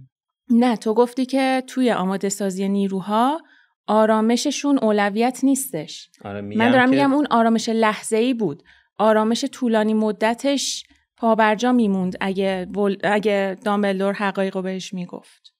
یعنی حتی در حفظ آرامشش هم اشتباه کرد اگه واقعا هدفش این بوده. آره. آرامش دراز مدتش رو فدای آرامش کوتاه مدتش آره. دقیقاً. من دقیقا من در راستای همین موضوع می‌خوام یه سوال دست جمعی بپرسم. به نظرتون دامبلدور راه چاره ای هم داشت؟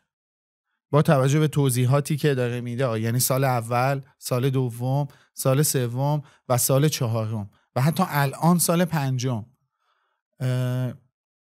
آیا راه چاره ای داشت؟ دامبل- دنبال این نیستم میگم که نه چاره ای نداشت. همین. می‌خوام نظر شما رو هم بدونم. آیا چاره ای داشت دامبلدور دقیقا تو کدوم مسئله؟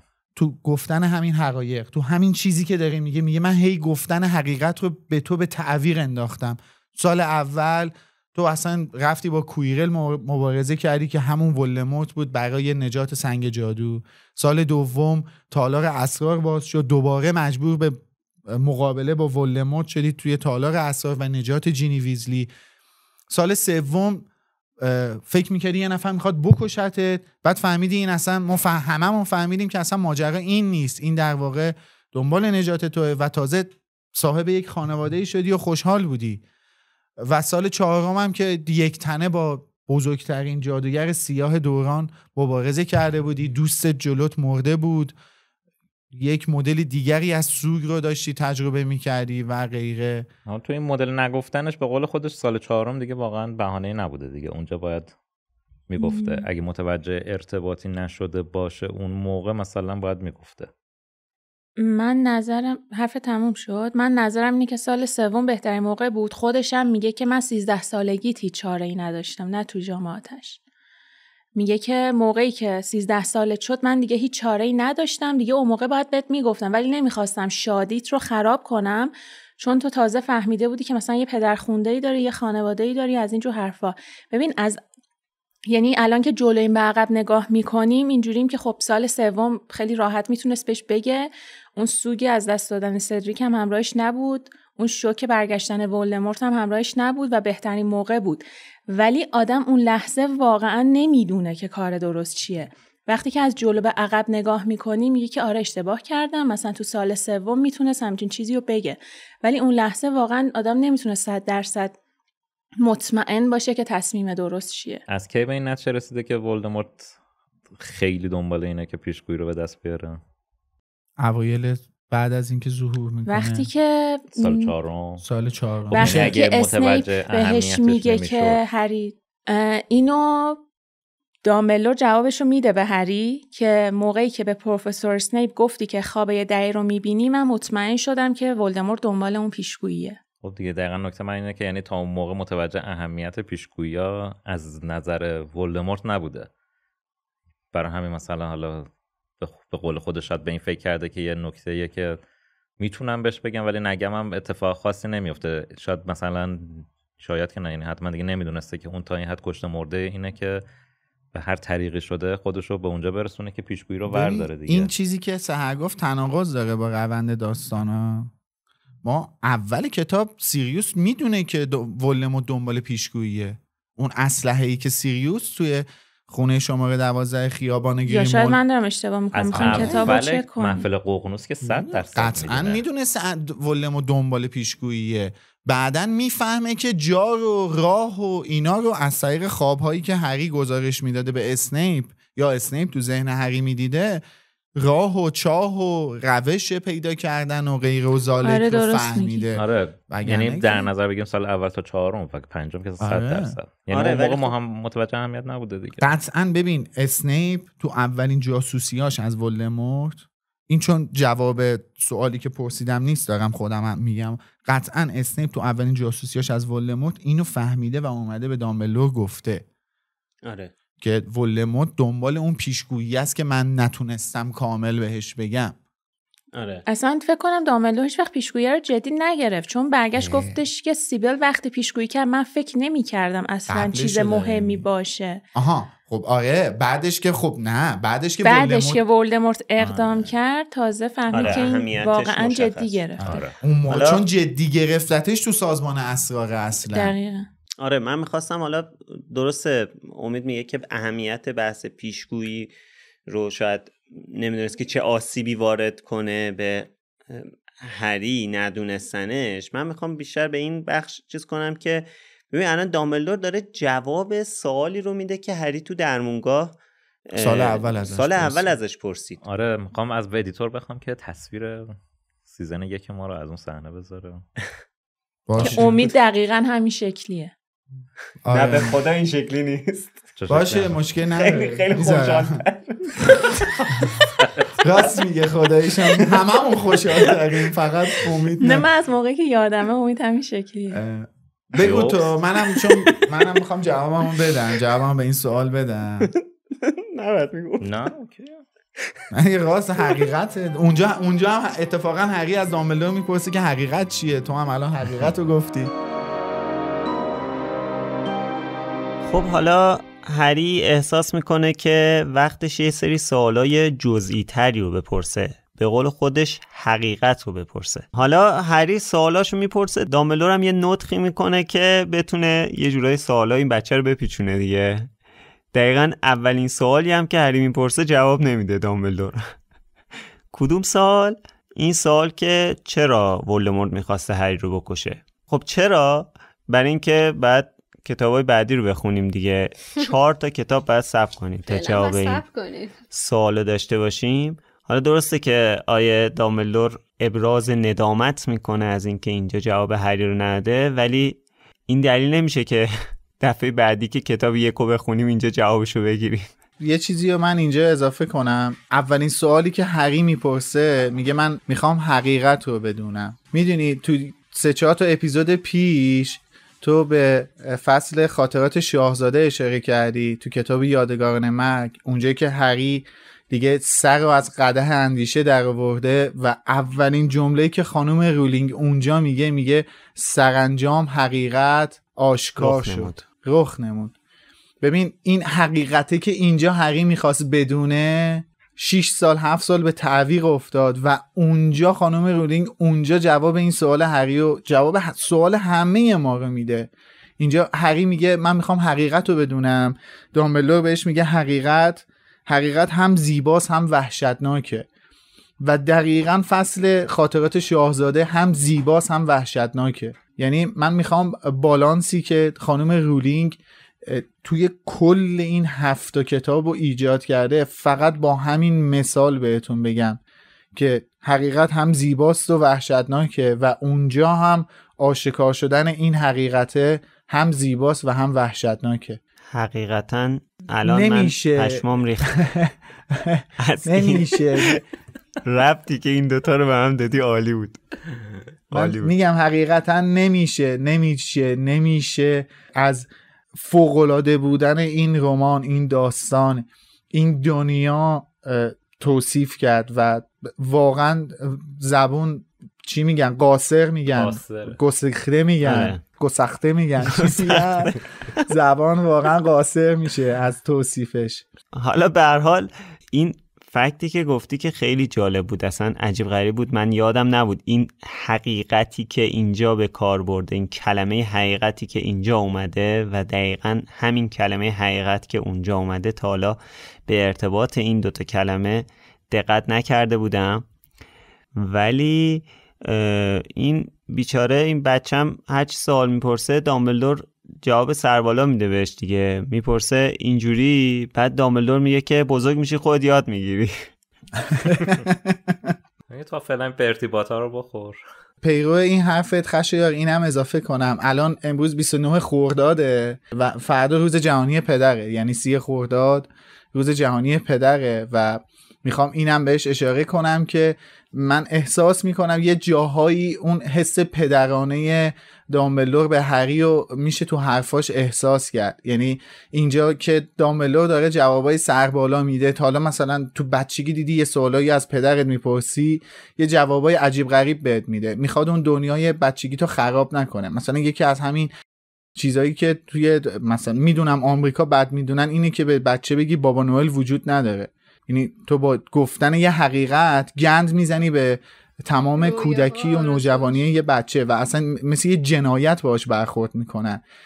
می‌دونی اینجا من احساس می‌کنم که دامبلدارم اون حسه رو به هری داره. یعنی نمی‌خواد بذاره هری از اون کودکیه این کودکی هری به اندازه کافی داغون شده. نمی‌خواد بذاره با دونستن این چیزا بیشتر از این داغون شه. میگه این بچه تو اینجا خوشه لاقل بذار خوش باشه. بذار الان نگم.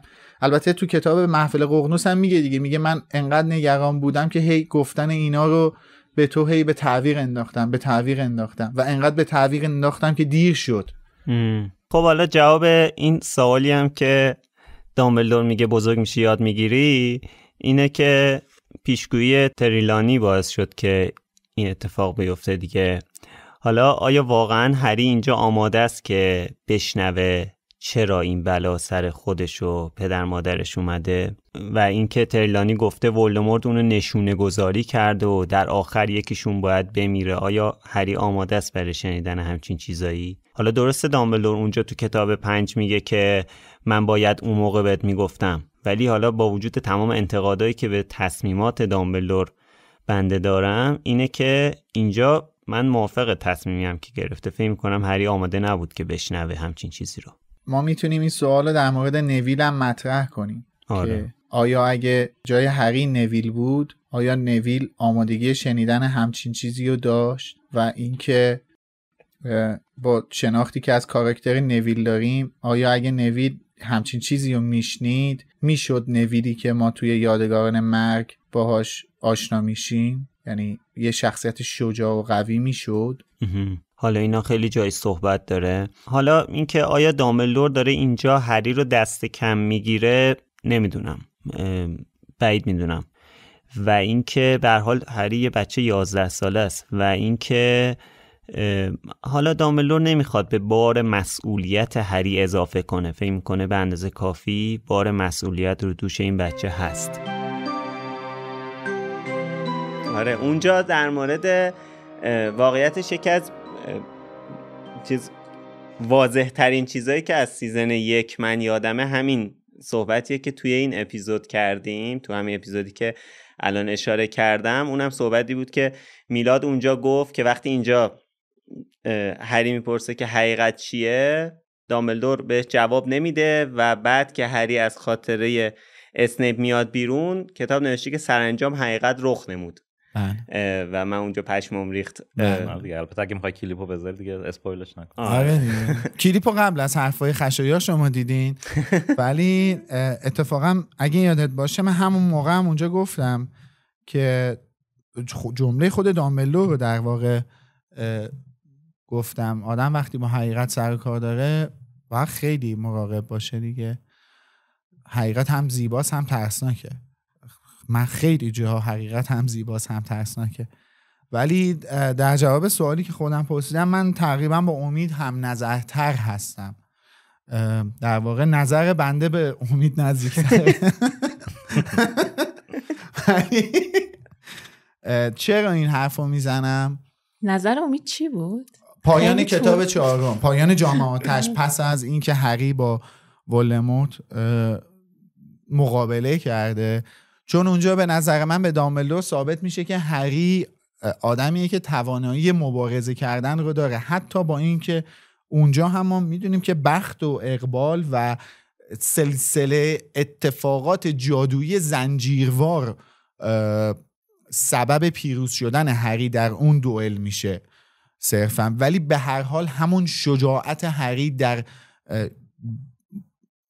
روبروی ولدمورت قرار گرفتن اون خودش نیرویه که دام... آدمی مثل دامبلور دست کم نمیگیرتش.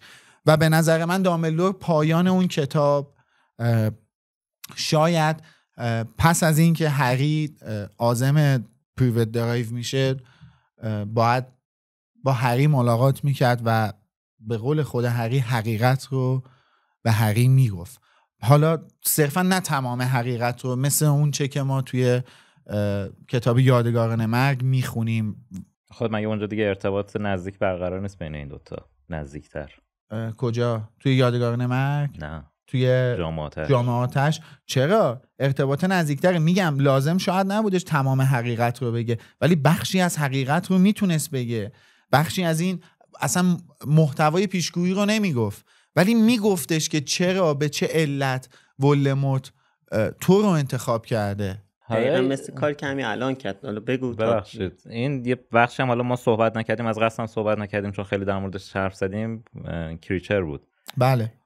این الان اینو گفتی من یاد این افتادم که این اینا نمی‌تونستن بلاتریکس اینا به این یه جورابی شورتی چیزی بدن که این بگه اینا کجا؟ خب اون موقع آزاد می‌شد. خب بعد دیگه کریچر نمی‌خواست آزاد بشه. نه خب به زور مثل دابی مینداخت. دابی هم خب هم یه جورایی یه چیز دیگه اگه بخوایم واقع بینانه نگاه کنیم آدم هایی مثل بلا و اولا که یه چیزی اینجا توی این فصل داملو آن می‌کنه پیمان خونی نه دارن. نه, نه. نه, میگه نه ببخش پیمان خونی نه. میگه یه جادویی دارن جن خونگی با صاحبانشون. این منظورت نیست؟ اون بانده نیستش. منظورم اون پیونده نیستش. پیوند جادویی که الفا با اربابشون دارن منظورم اون نیست. یک نکته ای رو اشاره می‌کنه. اونم این نکته است که کریچر فقط با نارسیسا مالفوی در ارتباط بوده. خب حالا همون نارسیسا. آخه اونا اینو اون ور گفتم یعنی اینو پرانتز باز کردم این رو در جوابش می‌خواستم بگم که اونا خودشون یه همچین کاری نمی‌کنن. می‌دونم تو جوابت اینه واقع بینانش میشه دیگه. تو جوابت اینه که آقا خب اینا می‌خواستن اطلاعات بگیرن اینو آزادش می‌کردن اون از بند اون پیونده آزاد می‌شد. جادوه. آزاد می‌شد و اطلاعات می‌داد. البته اون خانم اسمش چی بود؟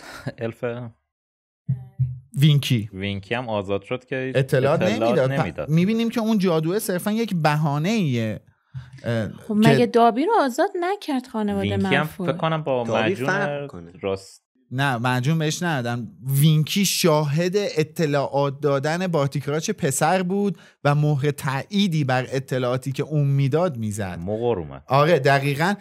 وینکی فقط نگاه کردش بارتیکراچ پسر که معجون همین Veritaserum رو خورده و داره اعتراف می‌کنه. اینم هست و اون هی می‌گفت نگو نگو داری اسرار رو فاش می‌کنی. در واقع وینکی وینکی خودش اطلاعاتی نمیده با اینکه آزاد هم شده. و از اون طرف ما می‌بینیم که دابی اسیره و اطلاعاتی به هری میده. خب اطلاعات میده هی خودش رو تنبیه می‌کنه. کریچر هم همین کاری کرده. کریچر هم اطلاعات می‌داده بعد میومده خودش رو تنبیه می‌کرده. منتها یک سری اطلاعات به صورت مستقیم دادنشون من شده بود. که مثلا تو حقی نداری بگی کیا میان و میرن. تو حقی نداری بگی ما ما اینجا در مورد چی داریم صحبت می‌کنیم. تو حقی ولی خود دامبلور میگه میگه اگه سیریوس گفته بود رابطه من و هری و حقی نداری به کسی بگی بازم نمی‌گفته خب ببین یه آره. چیزی. خب. چون به صورت مستقیم منع نشده بود از دادن این اطلاعات. یه ستاره باید می‌زد که بگی همه اینا رو نکن. ستاره نقطه ستاره. اسم من و هری رو توی جمله نیار. ببین یه چیزی خب کریچر که قلبا دوست داشته اطلاعات سیریس رو افشا کنه. خب وقتی آزاد می‌شد می‌تونست این کارو بکنه. قلبا. دیگه قلبا دیگه دقیقا مثل دابی و وینکی. اول که دابی واقعا خیلی استثنا استثنا آره، همیشه این جمله تو تو آره. ذهنم هست. ولی همونم ببینیم چجوری مثلا حرف می‌زده. آره, آره نکته. خیلی تیکه تیکه در واقع می‌تونیم بگیم کریچر هم همینجوری اطلاعات می‌داده به نارسیسا. تیکه تیکه نمی‌تونست. و میومده خودش رو تنبیه هم می‌کرده دیگه. خیلی سوال مهم و مبهمیه. می‌دونی چی میگم؟ هم مهمه. آره که دقیقا نویسنده هم بهش نمی‌پردازه. ولی در پیرو همون سوال من با امید موافقترم که دامبلو می‌تونسته حداقل حداقل بخشی از حقیقت رو به هری بگه که خب تنها چاره این بوده. یعنی اون سوال من این بودش که راه حل و چاره ای که دامبلدور طی این چهار پنج سال داشته چی بوده؟ حداقل چاره به نظر من این بوده که قصور کرده. خودش هم داره اعتراف می‌کنه. آره. میگه ایراد نقشه من این بودش که هی به تعویقش مینداختم. من می‌خواستم حقیقت رو به تو بگم ولی هر سال به یه بهونه به تعویق اینم از سر دلسوزیه. در واقع ما نمی‌تونیم بگیم که از سر عمد هستش یا پلیدانه است. این به انداختن چیزی که من. گفتم. من همش دارم به این فکر می‌کنم اگه آخر زندانی آسکابان بهش می‌گفت شاید سال چهارم هری مثلا می‌فهمید ولدمورت داره برمیگرد ولی همش دارم به این فکر می‌کنم که نه خب اونقدر نشونه ای هری نداشت که بخواد بفهمه. آره بعد من خواستم اینو بگم که این که میگی بخشی از حقیقت رو می‌تونست بهش بگه مثل بله. همین الان که الانم بخشی از حقیقت رو بهش. الان جالبه دامبلدور بهش به هری میگه که هری بیا بشین می‌خوام همه چیز رو بهت بگم با این وجود همه چیز رو نمیگه دیگه نه. می‌دونیم که همه چیز رو nemiگه نه به خصوص اون قضیه Horcrux ا که خب اینجا می‌تونه در موردش صحبت کنه چون به حال بحثش هست می‌تونه یه جور ربطش بده و صحبت کنه و قضیه خب مهمتر این که هری باید کشته بشه؟ خب اینا هر کدوم در زمان خودش میگه. همینطوری که اون یه سری چیزای خیلی مهمی رو مثل همین Horcrux و اون کشته شدن هری رو به دست ولدمورت اینجا بهش نمیگه ولی خیلی چیزای مهمی رو میگه قبلتر هم می‌تونست یه بخشی از می‌دونی چرا؟ اینا بگه. انتخاب هوشمندانه است. اگه ببخشید بذار من این؟ جمله رو. بگم پیرو پیرو جمله من تو جمله تو. ببخشید. نه بابا می‌دونی چرا چون اینجا هنوز دامبلدور مجبور نیست اینا رو به هری بگه ولی دو سه ماه بعد اتفاقاتی براش میفته که مجبور میشه تو کتابش آزاده دورگه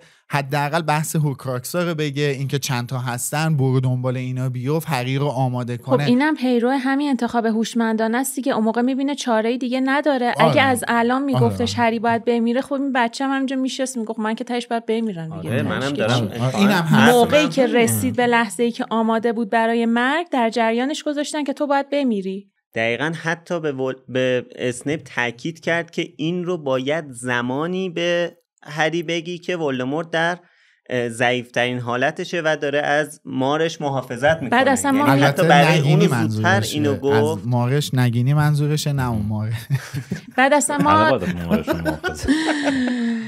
فصل پیش به این پرداختیم که هری باید خودش رو تسلیم مرگ کنه. آدمی که خودش رو تسلیم مرگ می‌کنه خب دیگه نمی‌تونه به مبارزه ادامه خب بده. همین دیگه. ما می‌بینیم هری اونجا خودش رو تسلیم نه می‌دونم. میگم آره، الان برای آره، همین آره، دقیقاً.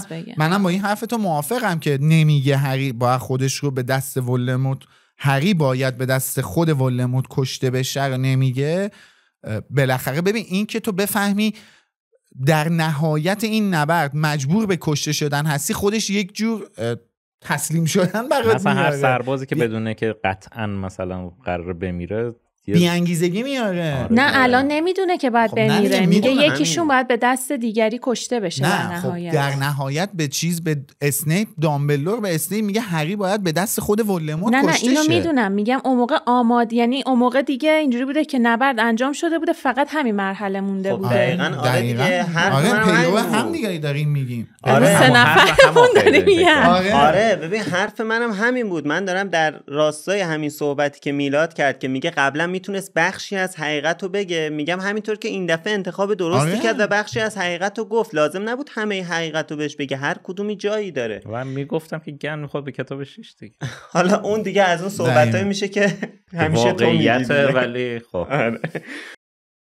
خب حالا قبل اینکه بریم سراغ نقل قول و پیشگویی رو بشنوید و در مورد بخش بخش پیشگویی صحبت کنیم فقط یه نکته کوچیک یه چیزی که برای من خیلی جالب بود اینجا و توجهم جلب کرد. این که اینجا دامبلور انتخاب کرد که تریلانی رو از پنسیو بیاره بیرون و صحبت تریلانی رو به صورت مستقیم بشنویم. به جای اینکه بریم داخل اون خاطره و اون خاطره رو ببینیم. فکر کنم دلیل این خیلی دلیل به خاطر اون. چیزیه که بله. دقیقا یک سال دیگه هری متوجه بله. میشه چون حواشی دیگه ای اون کل فریم نمی‌خواد. ببینه آره دیگه آره می‌خواست فقط روی همین آره. ولی با کنه. فیچرهای دیگه این دیوایس هم آشنا شدیم که گجت البته آره. قبلا دیده بودیم دیگه همین چیزا هم برتا جوکینز رو تو کتاب رو.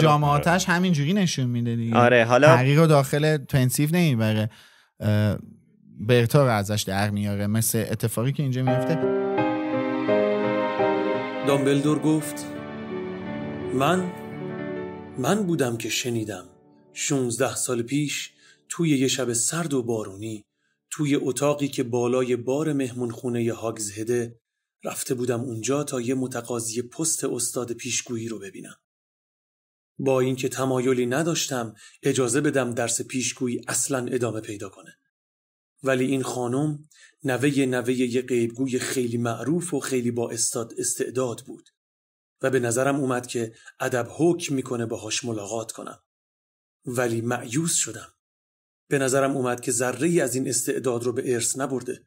بهش گفتم امیدوارم معدبانه گفته باشم که به نظرم برای این پست مناسب نیست. روم رو برگردوندم تا از اتاق بیرون برم. دامبلدور از جایش بلند شد و از کنار هری گذشت و به سمت کمد سیاهی رفت که کنار جای نشستن فاکس بود. خم شد. چفتی را باز کرد و از داخل کمد کاسه سنگی کم عمقی را بیرون آورد که اطراف لبه های آن نوشته هایی به خط رونی باستان حک شده بود. و هری داخل آن آزار و اذیت اسنیپ به دست پدرش را دیده بود. دامبلدور به سمت میز کار برگشت. پنسیو را روی آن گذاشت و چوب دستیش را بالا آورد و روی شقیقش گذاشت.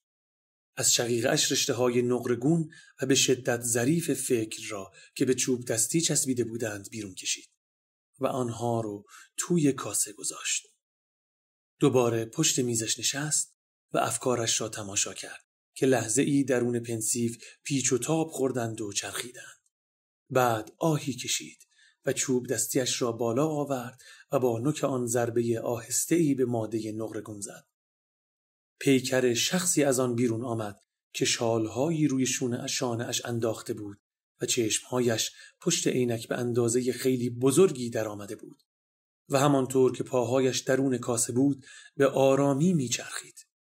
اما وقتی سیبل ترلانی لب به سخن گشود با لحن آسمانی و مرموز همیشگیش نبود بلکه صدای نخراشیده و دورگه ای بود که هری قبلا یک بار از او شنیده بود آنکه قدرت غلبه بر لرد سیاه را دارد در راه است.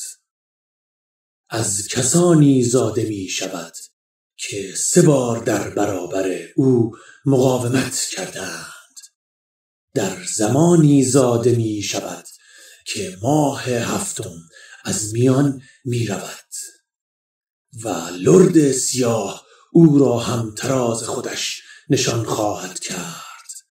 اما او قدرتی خواهد داشت که لرد سیاه از آن بیخبر است. و یکی باید به دست دیگری کشته شود چرا که تا زمانی که یکی زنده است دیگری نمی‌تواند زنده بماند. آنکه قدرت غلبه بر لرد سیاه را دارد زمانی زاده خواهد شد که ماه هفتم از میان می رود. پروفسور ترلانی که آرام میچرخید دوباره به درون ماده ای فرو رفت و ناپدید شد خب حالا پیشگویی رو شنیدین با ترجمه حسین و عکس دورم ببینید که مربوط به همین لحظه است که در واقع داملدور همین خانم تریلانی رو از پنسیو آورده بیرون و داره پیشگویی رو تعریف می‌کنه. و حالا من می‌خوام که در مورد بخش بخش این پیشگویی صحبت کنیم چون هر جملهش در واقع میشه در موردش حرف زد. اولین جمله که توی پیشگویی تریلانی میگه اینه که میگه آنکه قدرت غلبه بر لرد سیاه را دارد در راه است. هری در مورد این می‌پرسه که حالا ولدمورت چه عجله ای داشت؟ میذاش بزرگ بشین. بعد حالا اقدامی می‌کرد. چرا ورداشت مثلا توی همون سریع اقدام کرد؟ که این خب نکته جالبیه. ولدمورت می‌تونه سب کنه این کارو بکنه ولی خب ترسش به نظر من باعث شد که عجله کنه و خودشو به فنا بده. و در واقع این اقدامی که ولدمورت کرد منجر شد به شکست نهایی. شاید اگه یه ذره صبر می‌کرد خیلی اتفاقات دیگه میفته شاید بازم همین طبق همین پیشگویی اتفاقایی میافتاد. ولی منظورم اینه که حداقل این نقطه ضعف رو نمی‌داد. این شکست ولدمورت در اون نقطه و این اتفاقاتی که افتاد منجر شد به اینکه حالا بحث هورکراکسا رو دامبلدور متوجه بشه و منجر به شکست نهایی ولدمورت شد. فکر کنم این ترسی که ولدمورت داشت و این عجله ای که کرد بیشتر خودش رو به شکست نزدیک کرد. ببین بذار یه چیزی بهت بگم. ولدمورت انتخاب می‌کنه اون آدمه رو قبل از اینکه اون قدرت رو به دست بیاری که بتونه و... بتونه ولدمورت شکست بده بکشه دیگه. آره همون ترسش که میگم همین آره دقیقا. بحث یکی ترسه یکی متزلزل بودن جایگاهی که داره. درسته ولدمورت در حال قدرت گرفتن بود و غیر و زالک. ولی این آدم تو جامعه قبول نشده بود که یعنی بدنه اصلی جامعه دنیای جادوگری ولدمورت رو نپذیرفته بودن که. حالا هر چقدر این قدرت داشته باشه. تو وقتی جامعت نمیپذیرنه تو هر چقدر قدرت داشته باشی پذیرفتنی نیستی. و اون می‌دونی اون جایگاهی که تو داری متزلزله. چه حرف جالبی زدی. برعکس گریندلوالد که یه جورایی پذیرشی توی جامعه براش وجود داشت. خب ببین فرق ما صحبت کردیم دیگه. آره. فرق ولدمورت و گریندلوالد اینه که گریندلوالد سیاستمدارتر بود. گریندلوالد آره. بلد بود چه کار کنه. تو وقتی سیاست رو بدی دست آدمی که سواد سیاسی نداره و به زور می‌خواد همه چیز رو به تو قالب کنه خب جایگاه متزلزلی داره جایگاه اصلا ثابتی نداری. تو حتی خودت هم رو جایگاهی که داری نمی‌تونی حساب کنی. ببین اصلا آخه ولدمورت انقدر سیاهه که خود کسایی که به اصیلزاده بودن اعتقاد داشتن همراهش نبودن لزوما. مثل حتی پدر مادر سیریس یا برادر سیریس که یکی از پیروانش بود بعدش کشید عقب. ولی خب گریندلوالد همچین تفکری به اون غلظت نداشته آره دیگه. فرق دام فرق ولدمورت و گریندلوالد تو همین نحوه نمایش کردن present کردنشون. آره. شاید خانواده بلک به خاطر اون به قول خودت ارائه ای که گریندلوالد از ایدئولوژی و تفکر و فلسفه ای که داشت می‌داد اینا همه پیروش بودن. میگم ولدمورت انقدر سیاه همه قدرت رو برای خودش می‌خواست دقیقاً. همه باید برده این باشن این اربابشون. یعنی کسی همسطح که هیچ نزدیک به خودش هم قبول نمی‌کنه آره. دیگه. ولی رفتارش با بلاتریکس می‌بینیم دیگه. وقتی با بلاتریکس اونجوری رفتار می‌کنه. آره. آره کلا اون نمی‌خواد کسی نزدیکش از نظر قدرت باشه. دقیقاً. برای همین آدمایی که مثلا اینجوری ثروتمندن یا اصیل زادن هم کمتر میان سراغش. بعدم این که ما توجه داشته باشیم نیمی از آنچه که ولدمورت می‌خواست بحث اصیل زادگی و خون پاک جادوگری بود به قول خودشون. نیمه دیگرش جاودانگی خودش بود. اولش نه اصلا شعارشو دارم میگم. آره. خب باشه ما داریم خودش رو می‌پردازیم دیگه.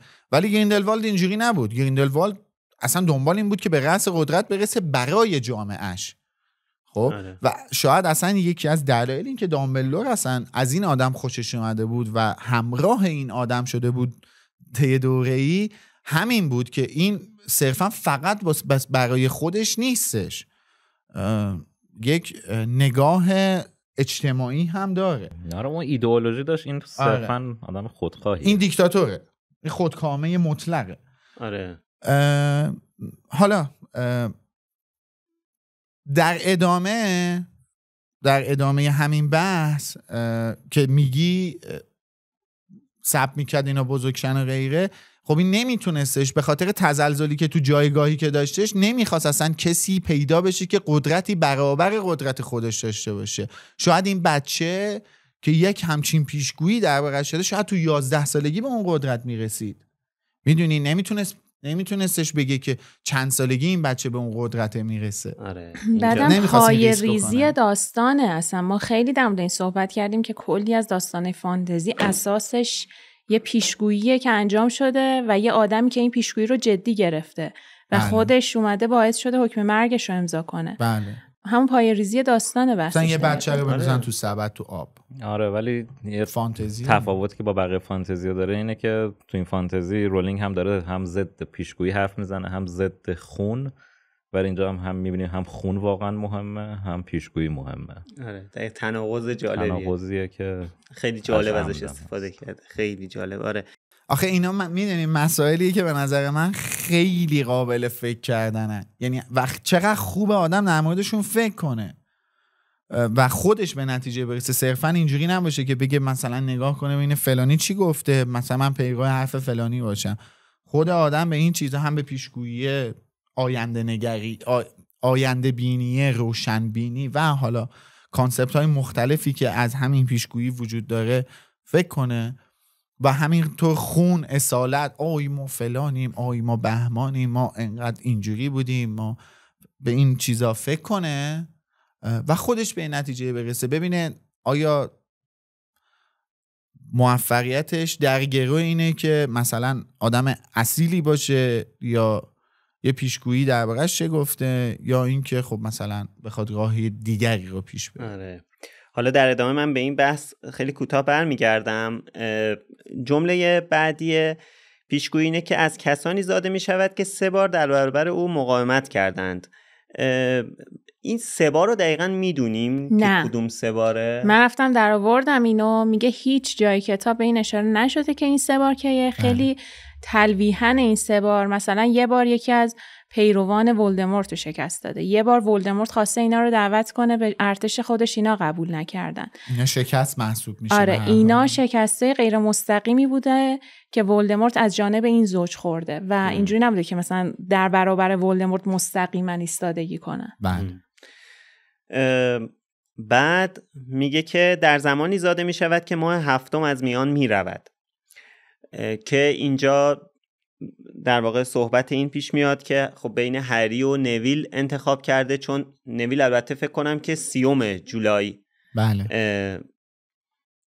به دنیا اومده در ضمن امروز 29 یا سیوم جولای امروز سیوم جولای امروز سیوم جولای. تولد هریه آره امروز تولد نویله اگه سال کبیسه نبود امروز تولد هری بود آره. ولی چون سال کبیسه است یه روز جابجا آره. شده و امروز تولد نویل دقیقا آره.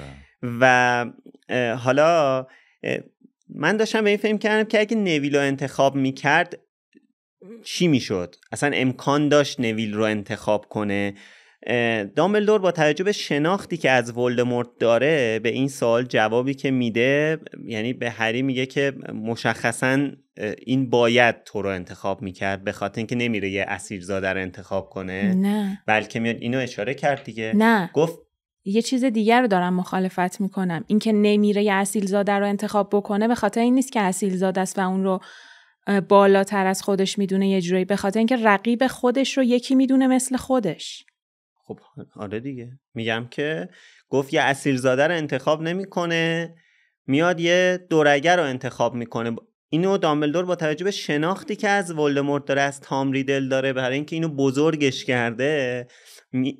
یعنی تقریبا حتی دامبلدور اون شاید اون اولش مطمئن بوده که این بین این دوتا بچه کدوم رو انتخاب می‌کنه. حتی انتخاب دام... آها من فکر کردم میگی هم- نمیره اصیل زاده رو انتخاب بکنه. فکر کردم منظور چیز ام. دیگه آخه یه درصدی و- هم اه، و این انتخابی که کرده باعث شده که دامبلدور اینجا به هری تاکید می‌کنه که این پیشگویی قطعا در مورد توه و دیگه در مورد نویل نیست. تنها چیزی که اینجا به وجود میاد اون علامت سوالیه که زیر پیشگویی توی بله. سالن پیشگویی ها گذاشته بودن که اون اشارش به همینه دیگه. یعنی که چون بله. صد درصد انگار اون کسی که اون متن رو نوشته اون زیر مطمئن نبود. اون زمان مطمئن نبوده دیگه. آره. آخه پیشگویی میگه دیگه دامبلدور اینه که اون باید انتخاب کنه دیگه. آره. انتخابشو کرده. آره دیگه اون موقع که پیشگویی ثبت میشه قطعی نبوده. که کدوم رو انتخاب می‌کنه. ولی همون موقع دامبلور حدس زده حدس می‌زده که هری جیمز پاتر ه جیم پر رو انتخاب می‌کنه جای نویل لا- نویل لانگ. باتن اینم می‌خوام بگم که ولدمورت پیش خودش یک درصدی هم با توجه به اینکه نویل اصیل زاده بوده یک درصدی هم این احتمال رو میذاشته که شاید این بزرگشه اصلا جز پیروان من بشه. می‌دونی یک درصدی یا احتمال میذاشته دیگه. ولی خب هری هری خب اصیل زاده که نیستش. یک مادرش مایل زاده است و جز اون خانواده های اصیل زاده محسوب نمیشه از نگاه ولدمورت. و خب مثل منه. من مادرم یک اصیل زاده بوده پدرم ماگل بوده. این برعکس منه مثل منه. احتمال اینکه اصلا این هم جادوگر قوی قوی باشه هستش. می‌دونی همه چیز با خودش مقایسه می‌کنه. توی مثل ببخشید جملت فراموش نشه مثل دقیقا همونجا که از اون قده میگم قده از اون نه نه. از اون دیگه چیه؟ پاتیله میادش بیرون و هی شروع می‌کنه به هری توضیح دادن. انگار که فقط هری رو هم ردا خودش می‌بینه هم هم رده خودش, هم رده خودش ببخشید می‌بینه. که فقط واسه هری داره توضیح میده از روز چه می‌دونم فلان تا روز فلان و واسهش تعریف می‌کنه. از زمان صفوی. آره از زمان صفوی. اینا همه سنده. اینا رو همه رو واسه والو دقیقا همینو می‌گفت. آره همه رو داشت تعریف میگه فقط واسه هری داشت تعریف می‌کرد دیگه. اصلا کسی نیومد و من این کارو کردم من اون کار بابای منو نگاه کن. تو روی فلان وایسادی تو اینجوری تو اونجوری. می‌دونی انگار فقط هری و هم رده خودش می‌دونه و به خاطر می‌دونی این شباهت ها رو می‌خوام بگم چون شبیهن دیگه. آره. ولی به نظر من ولدمورت به این فکر نکرده که نویل اصیل از همراه من میشه. چون اون اگه کوچکترین احتمالی بده که یکی قرار شکستش بده قطعا اون رو خواهد کشت. خب نکشته دیگه ول... نمی‌دونم نمی‌دونم میگم منطقه پشتش این نبوده که فکر می‌کرده اصیل زاده است ممکنه همراه من بشه. شاید آره. من من صرفا نظر خودم رو گفتم دیگه که یک درصدی آره. احتمال میذاشته. شاید هم نمیذاشته. در مورد این که میگی اگر که میگی خب نکشته می‌خوام بگم که فرض کنیم این کار رو لیلی نمی کرد و هری میمرد. احتمالا می‌رفت سراغ گزینه بعدی جفتشون رو میکشت. آره. یعنی دیگه فرصتی برای کشتن نویل نداشته که ولدمورت اومد هری رو بکشه زارت مادر تو تموم شد. آخه ببین داری درست میگی تو ولی این چیزی که تو داری میگی دقیقا داره تمام آنچه که داملو داره میگه نقض می‌کنه. میگه داره میگه انتخاب کرد. آره انتخاب کرد و این اتفاق افتاد.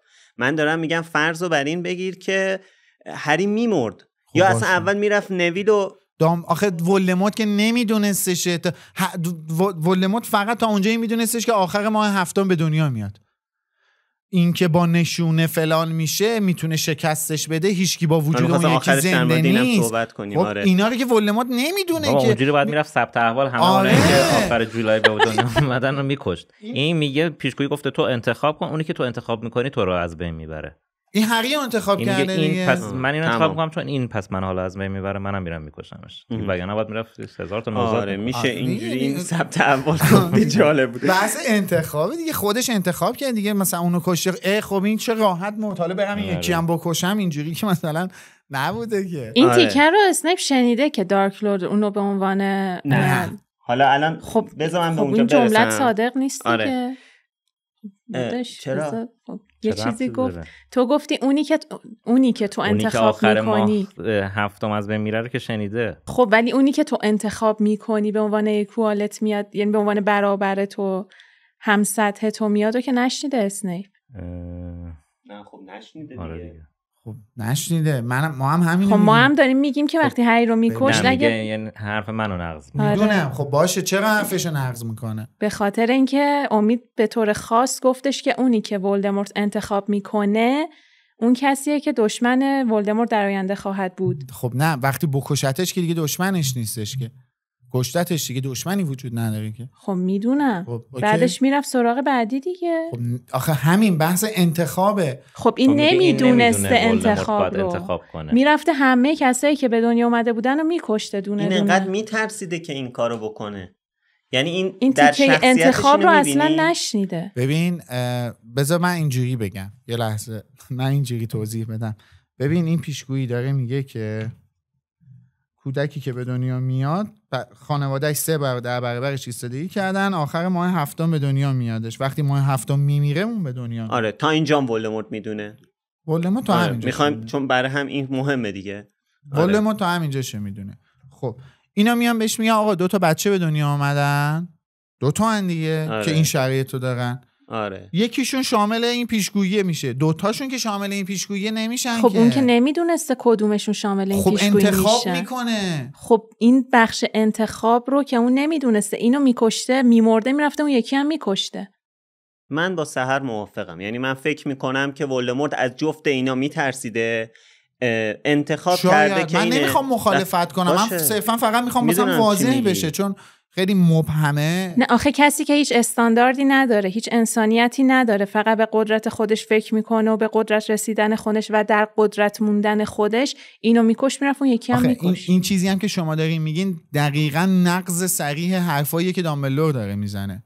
چه حرفی می‌زنه دامبلور میگه آقا اون تو رو انتخاب کرد و س- صرفا و صرفا و صرفا این پیشگویی در راست دامبلدور یه حرفی هم می‌زنه میگه که کارکنای وزارت اسرار اسم تو رو سازمان نو... اسرار. سازمان اسرار اسم تو رو نوشتن پای این پیشگویی چون فکر می‌کنن این در مورد توه چون ولدمورت اومده تو رو کشته یعنی میشه این رو از حرف اه، دامبلو برداشت کرد که این می‌تونست خیلی راحت در مورد نوین هم باشه. اگه ولدمورت می‌رفت اونو میکشت. ببین خب، بعد از در. ادامه حرف موضوع اینو بگم. که این دام این, و- این پیشگویی درباره دو نفره. خب. یکی یا نویل و هری و ولدمورت. یعنی یا باید در مورد هری باشه خب وقت- خب یا در این مورد نویل باشه. خب نمیشه در مورد جفتشون نمی‌دونسته در. مورد کدومشونه. آره من ببین من یه چیزی بگم. میلاد ببین در ادامه همین صحبت سهر ببین این چیزی که دامبلدور میگه که این قطعا در مورد توه این مربوط به مثلا این در مورد ادامه پیشگوییه. همین. این مربوط به سی اکتبر 1981 نیست. این مربوط به اول نوامبر یعنی از فرداش که این اتفاق افتاده این پیشگویی قطعا در مورد هریه. ولی تا قبل از اون که این اتفاق بیفته یعنی اون اتفاق از اون شکست نصف و نیمه ولدمورت و اون پیروزی هری اون اتفاقی که اون شب تو گودریکس هالو میفته از اون روز دامبلدور داره رو این این حرفو می‌زنه که این در مورد هریه. اصلا بحث خب، هم تا قبل از اون تا قبل از اون شاید وقتی اومدن به ولدمورت گفتن که همچین چیزی شنیده شده گفته مثلا یه لیستی در بیارید از افرادی که جلوی ما وایستادن و بچهشون آخر جولای به دنیا اومده. دو تا اسم براش آوردن. گفته خب بر- بریم بکشیم. احتمال کی بیشتره؟ مثلا بچه جیمز و لیلی. بریم اونو بکشیم. اون ن- بعدش این یکی هم میاد. بعد رفته. اونجا خب ولدمورت که می‌دونسته این دوتا گزینه است دیگه. دامبلدور آره. هم مشخصا میگه که می‌دونسته آره. نویلی هم بله، وجود بله. داره. میگه اون پسری رو انتخاب کرد که احتمال می‌داد براش خطرناک باشه دیگه. یعنی به هر حال انت... اون نمی‌دونسته که اگه انتخاب کنه این انتخابش باعث میشه که حریف قطعی برای خودش انتخاب خب کرده دیگه. باشه جدا آره. از نتیجهش نه دیگه. یعنی اون فکر می‌کرده صرفا باید یه طبق چیزی که اینجا نوشته کودک رو احتمال کرده انتخاب کرده که براش خطرناکه. نه اینکه بعدش می‌خواسته بره کودک کشی کنه حالا. منم یعنی این میگم چیزی که شما میگین یه همین- فرضیه است که می‌تونه درست باشه آره. ولی هیچ اشاره اینا نه سند نه. تو حرفای ولدمورت نه تو حرفای دامبلدور کوچکترین اشاره به این نیست که این مثلا به همه بچه ها مزنون بوده آره آخه. همه نیست بحث اینه که دو نفرن خب ببین با- داره حتی به گزینه دوم دیگه. دیگه. داره میگه دام- هم... منم ببخشید منم واسه همین. دارم میگم این چیزی که شما میگین درست هست با عقلم جور در میاد ولی نقض حرفای دامبلدوره یعنی یه خود واسه همین یه خود سخته. ولی با عقل جور در میاد. چیزی که شما دارین میگین با منطق و عقل جور در میاد. ولی دامبلدور از اون طرف داره یه چیز دیگر رو میگه. دامبلدور داره کاملا نقضش رو میگه ولی اون تیکه هم که در. مورد اسم گذاری کارکنان وزارت سازمان اسرار. اسرار میگه رو میشه بخونی که اونا تصمیم گرفتن. پیشگویی در مورد توه چون ولدمورت اومد تو رو به اینم قتل همون برسونه. بحثیه که مال بعدشه دیگه. دارم میگم شما از اول میگم خب بذار بخونه دیگه آره. آره از اول نوامبر از اصلا کلا قضیه مسئول سالن پیشگویی کاملا مشخص بوده که وقتی ولدمورت فقط اقدام به کشتن تو کرده علتش فقط این می‌تونسته باشه که اون می‌دونسته سیبل در پیشگویی خودش به تو اشاره کرده بوده. یعنی اصلا سا- اون اون علامت سواله اصلا ربطی به نویل نداره. پس چرا علامت سوال گذاشته؟ من نمی‌دونم از ولی داره میگه اصلا از کارمند چون مستقیم به اسمش اشاره نشده علامت سوال گذاشته خب، احتمال بخاطرش. داده ولی داره میگه میگه از نظر مسئول سالن پیشگویی کاملا مشخص بوده که وقتی ولدمورت فقط اقدام به کشتن تو کرده علتش فقط این می‌تونسته باشه که سیبل در پیشگوییش به تو اشاره کرده آره، بوده. تلاش برای نقض تئوری نیست یعنی چون یه چیزی دقیقا خلاف گفته شما اینجا هست مثلا میگه. یعنی کاملا آره. منطقی حرف. آره منم میگم دنبال فرضیه است میشه. محتمل باشه. ولی من دلیل اینکه این همه اصرار کردم فقط به خاطر حرفایی که خود دامبلور داره می‌زنه. منم اتفاقا به خاطر همین بخشش گفتم. چون اون داره میگه از نظر کارمندای سازمان اسرار همچین چیزی بوده نه نظر من. خب نه. نه جلوتر میگه دیگه. جلوتر وقتی هری میگه خب پس نویل هم فلان میگه این باید متاسفانه باید اشاره کنم که این پیشگویی قطعا در مورد خب تو آره خشایار چون بعد چون تو رو مارک. کرده. نه ببین دامبلدور اول میگه که ولدمورت تو رو انتخاب کرده به این دلیل و به, به اون دلیل. بعد در مورد مسئول به سازمان اسرار حرف می‌زنه. اول ولدمورت میگه اون تو رو انتخاب کرد. میگم ولدمورت اما یارو. آره ولی چون این اپیزود فکر کنم 4 ساعت داره میشه آره. نه به نظرم حرفامون رو زدیم. مشخصه دیگه. به نتی... بخش بعدی پیشگویی میگه که لرد سیاه او را همتراز خود نشان خواهد کرد. ما حالا توی اپیزود 35 اه، خیلی مفصل در مورد این بخش صحبت کردیم. من با توجه به اینکه تو اون اپیزود هم گفتم که حالا تا اپیزود 37 یکم در موردش تحقیق می‌کنم. من دیروز با حسینم مفصل در مورد این مسئله صحبت کردم. به نظر حالا حسین و حالا منم موافقم با نظر حسین این تاکید روی این کلمه مارک بیدلیل نیست. یعنی اینکه به قول حسین می‌تونست هر کلمه دیگه ای به جای مارک استفاده کنه توی این جمله خانم رولینگ. ولی وقتی این مارکو گفته و به خود حسین می‌گفت وقتی منم نوشتم اینجا نشان کاملا مشخصه که این داره به جای زخم اشاره می‌کنه. آره خب، چون فصل و- بعدم اصلا همینو میگه. میگه هری به عنوان یک مارکت من داشت راه می‌رفت. آره و اصلا ببین کلا در طول این فصل که در مورد پیشگوییه و موضوعش پیشگوییه شما ببین چقدر در مورد جای زخم صحبت میشه. خب تأکیدی که روی جای زخم میشه بیدلیل نیست. و فکر می‌کنم که ببین این حرفی هم که دامبلدور می‌زنه اینجا ببین حرفی هم که دامبلدور اینجا می‌زنه توی صفحه 369 نوشته که قسمت بعدی پیشگویی رو فراموش کردی که آخرین علامت شناسایی پسری که ولدمورت رو شکست میده. ولدمورت خودش اونو به عنوان حریف خودش معرفی می‌کنه. البته خانم اسلامیه اینجا مارکیم از هیز ایکوال رو اینطوری نوشته. اونم همین کارو کرده. اون تو رو انتخاب کرد. نه نویل اون جای زخم تو بهت داد که هم نعمت هم نقمت. دقیقا تو همین جمله ای که دامبلدور داره در مورد این تیکه پیشگویی صحبت می‌کنه به جای زخم اشاره می‌کنه. ببین اصلا این من جواب سوالیه که میلاد بله. پرسید تو اپیزود 35 بله بله.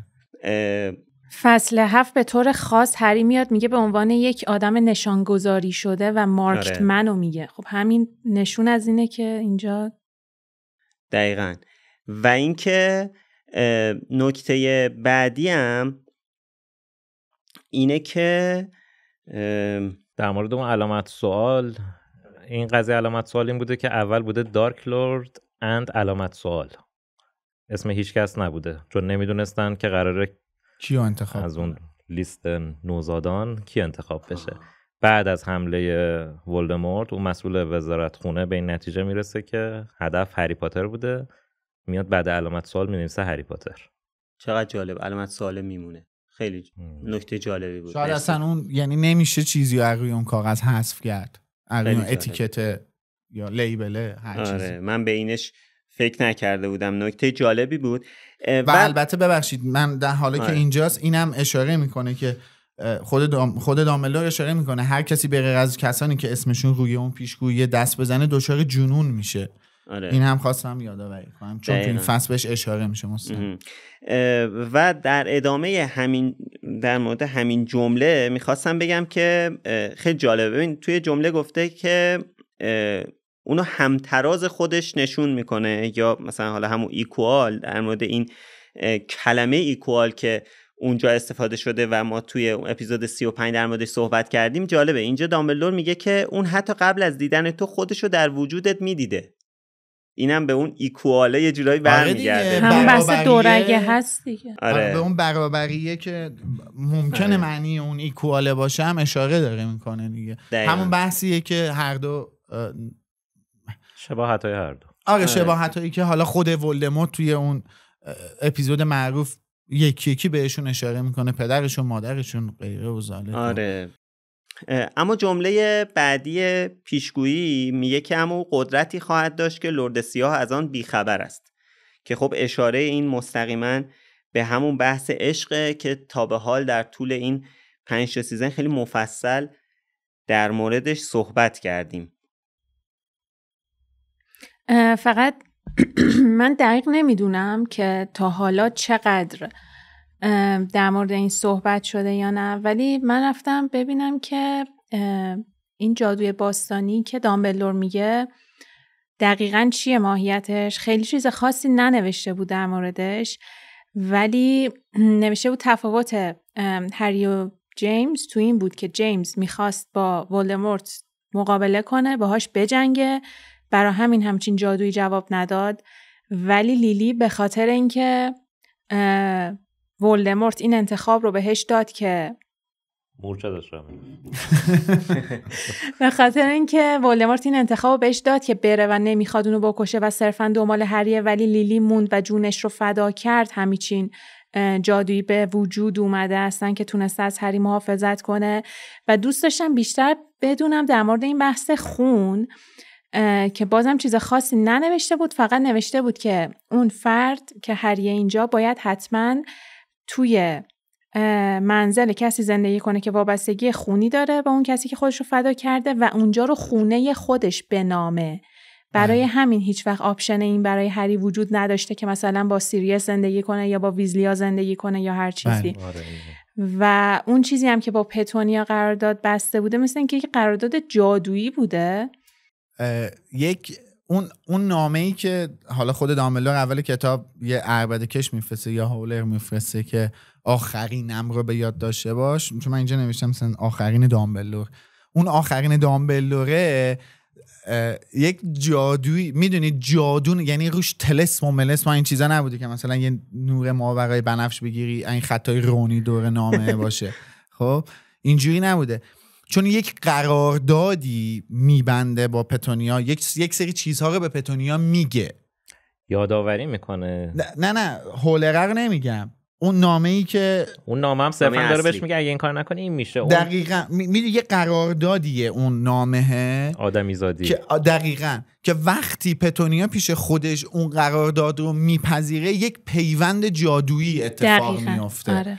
فلسفهش اینه. من خواستم توضیح من بدم فکر که کردم آخه پتونیا یا عذاب وجدان بهش دست میده و اینا فهمیدم که الان نه همچین چیزی نبوده. نه ببین یه هست- از این ببین اون. آخرینم رو به یاد داشته باشه می‌دونی چی به چی داره اشاره می‌کنه؟ به این که ببین یادته تا موقعی که هری اینجا باسش خونه باشه هری اون مسئولیت رو داره. اگه دیگه اینجا باسش خونه نباشه اگه شما الان بیرونش کنین و رسما دیگه اینجا خونه هری نباشه اون مسئولیت از بین میره. و الان اون آدمه برگشته می‌خواد هری رو بکشه دقیقا اون آخرینم آره. رو به یاد داشته باشه داره به اینا به قول امید یک یادآوری رو می‌کنه آره و که پتونیا میگه وایساد نه نمی‌خواد بری بگم شو اتاق ولی یه آره. چوسه دلسوزی بوده دیگه آره. آره. قبل اینکه بریم تو نقل قول گفتم این توی این کتاب و توی این دوتا فصل به خصوص خانم رولینگ خیلی از عشق صحبت کرده یکی فداکاریه یکی عشقه و ما می‌بینیم که جاهای زیادی دامبلو تو این فصل در مورد انسانیت صحبت می‌کنه. و اصلا گفتم سه تا جمله داره دامبلو توی این فصل که حالا یکیشو گفتم. یکی دیگهش اینه که میگه بزرگترین توانایی آدم احساس درد و رنجشه. یعنی بعد یه جا به هری میگه اون چیز این درد و رنجی که تو داری می‌کشی باعث میشه که تو انسان باشی نشون میده که چقدر انسانیت در تو زنده است که هری هم اون اربده رو می‌کشه که پس آره، من که نمی‌خوام هری هم انسان می‌خواست باشم. یا زنده باشم یا آره انسان من. اصلا نمی‌خوام تمومش کن آره. آره و من نمی‌خوام انسان باشم ببین می‌دونین فاصله خیلی زیاده توی این دوتا آدم با تمام شب... یعنی منظورم ولموت و هریه با تمام شباهت هایی که الان این همه در موردشون حرف زدیم ولی فاصله خیلی زیاده. هری در نهایت اون آدمیه که عشق ورزیدن باعث زنده موندنش شده. ما می‌دونیم که مادر ولموت هم موقعی که ولموت رو به دنیا میاره میمیره. در واقع سر زا میره میزاد. سر زا میره. و یه جورایی میشه گفت اون هم جونش فدای این میشه که بچهش به دنیا بیاد در واقع. ولی فاصله رو می‌بینی چقدر زیاده. هری آدمیه که حداقل توانایی عشق ورزیدن رو یاد گرفته. در صورتی که ولموت از ابتدا اصلا با این مفهوم مخالف بوده. البته تفاوت مهم داره به نظر من. مادر حریم به نیت زنده موندنه. آره هری یعنی یعنی قصدشو مطمئن داشته. بودم قراره بمیره دقیقا. من بمیرم که اون زنده بمونه. تفاوت هاست دیگه اینا اون اون تف... اتفاق بوده. دقیقا. اینا اون تفاوت هاست دیگه. یک فاصله ای وجود داره ب- که فرق عشق هست دیگه. مادر ولموت به خاطر عشقی که داشته که جونش از دست نداده که. یک اتفاق بوده. ولی لیلی به خاطر عشقی که به بچهش داشته جونش رو فدا می‌کنه. آره بعد مادر ولدمورت به خاطر عشقی که داشته یه نفر رو در حالت جنون نگه داشته. نه مادر ولدمورت کرد. واقعا. مادر. ولی می‌خوام بگم که انگار که رولینگ داره به تمام این چیزا یه جورایی اشاره زمینی می‌کنه می- داره بهمون یادآوری می‌کنه که ببین مهرورزی محبت کردن عشق ورزی اینا اون چیزاییه که انسانیت رو می‌سازه. اینا اون چیزاییه که باعث میشه یک آدم انسان باشه. انسان بودن وجه های بد هم داره مثل رنج کشیدن. رنج کشیدن که چیز خوبی نیستش. تعارف نداریم که. سوگوار بودن چیز خوبی نیستش که درد آوره دیگه. رنج می‌کشی شما. ولی اینا بخشی از انسان بودنه. اما این انسان بودنه چیزای قشنگی هم تو خودش داره. نباید صرفا روی اون تاریکیاش فکوس کرد. تمرکز نباید گذاشت روی اون رنج کشیدنه روی اون اذیت کردنه روی اون ظلم کردنه. همه آدم ها توانایی ظلم کردن رو دارن. چه خواسته چه ناخواسته. تو ممکنه ناخواسته یک, یک کار اشتباهی رو بکنی که ظالمانه باشه. ولی ناخواسته بوده. لحظه ای که اون خ- اون ظلمه تبدیل به خواسته بشه و ازش لذت ببری تو دیگه داری انسانیت رو در خودت می‌کشی. من یکی از زیبایی های این کتاب و مهم بودن های این کتاب برام همیناست ما کمتر می‌بینیم که رولینگ به صورت انقدر مستقیم به این چیزا پرداخته باشه. پرداخته تو کتاب های دیگر هم بر... ولی اینجا داره خیلی مستقیم و عمیقتر نگاه می‌کنه. با توجه به حس و حالی که ما و هری توی این فصل از کتاب داریم داره میگه ببین تو حالت بده. ولی تو یه چیزی تو وجودت هست که می‌تونه کمک کنه حالت خوب باشه و اون عشق عشق ورزیدنه محبت کردنه. این این این چیزا این, این کتاب واسه من خیلی پررنگ تر می‌کنه. چیزی که الان گفتی چیز واقعا اونی که بهش مهر می‌زنه مهر تایید می‌زنه آخر این فصل هری میاد لونا رو می‌بینه که سرگردونه توی. تالارا آخر آخر, کتاب در واقع. کتاب نیست؟ نه. آخر آخر کتابه. آخر, آخر این کتابه. فصل نیست. آخر این آره. فصل من فکر کردم آخر این فصل میاد. سرگردونه توی تالارا داره دنبال لباساش میگرده و هری وقتی مکالمش با لونا که هر چقدرم کوتاه بود و احساس بدی پیدا کرد برای لونا که همه میان اذیتش می‌کنن اون ارتباط انسانیه وقتی برقرار شد تهش نوشت که هری این احساس رو می‌کرد که دیگه اونقدرم حالش بد نیست. اصلا همینه. بعد ما اوایل کتاب بعد ببین خیلی قشنگه. بذارین یه گریزی بزنم به شاهزاده دورگه عذرخواهی می‌کنم از همتون. آقا هری و نگاه اینجا چه رابطه ای داره با دامبلور؟ می‌خواد بزنه خوار مادرش رو سرویس کنه در این حد دیگه. یعنی به قول امید فقط اون پایه میزه رو ور نداشت بکنه تو حلق دامبلو حلق. من نگفتم. چرا؟ گفتی یه, یه, یه اشاره ای کردی. بعد ولی کتاب شاهزاده دورگه پیش هری چطوری شروع میشه؟ ساعت هفت شب یه, نام... یه نامه ای به دست هری رسیده که ساعت هفت شب دامبلور داره میادش پیش هری و قرار با هم صحبتی بکنن. و برن با هم دیگه. خب؟ اول کتاب ده دقیقه به هفته. نه یه دقیقه دو دقیقه به هفته هری کلش رو پنجره چشم انتظار به جاده خوابش برده. یعنی این آدمی که این حال رو داره نسبت به دامبلور یک ماه بعد چشم ساعت ها خیره به جاده منتظر یک اتفاق جادوییه که ساعت هفت بشه یه اتفاق جادویی بیفته و دامبلور پیداش بشه. چرا؟ ببین به خاطر اون محبتی که داره تو چشمای دامبلور این آدم می‌بینه. یادم نیست کی بودش ولی یه, یه آدم جالبی یه روزی یه جایی به من گفتش چشما به آدما دروغ نمیگن. هری هر چقدر هم اینجا از دست دامبلور عصبانی باشه ولی اون لحظه ای که به چشمای آبی نافذ دامبلور نگاه می‌کنه در نهایت اون عشق و علاقه ای که دامبلور بهش داره رو حس می‌کنه و می‌بینه. اه، این که گفتی در مورد چشم خیلی جالبه. ببین خب نقش لیلی و عشقش الان در موردش صحبت کردیم.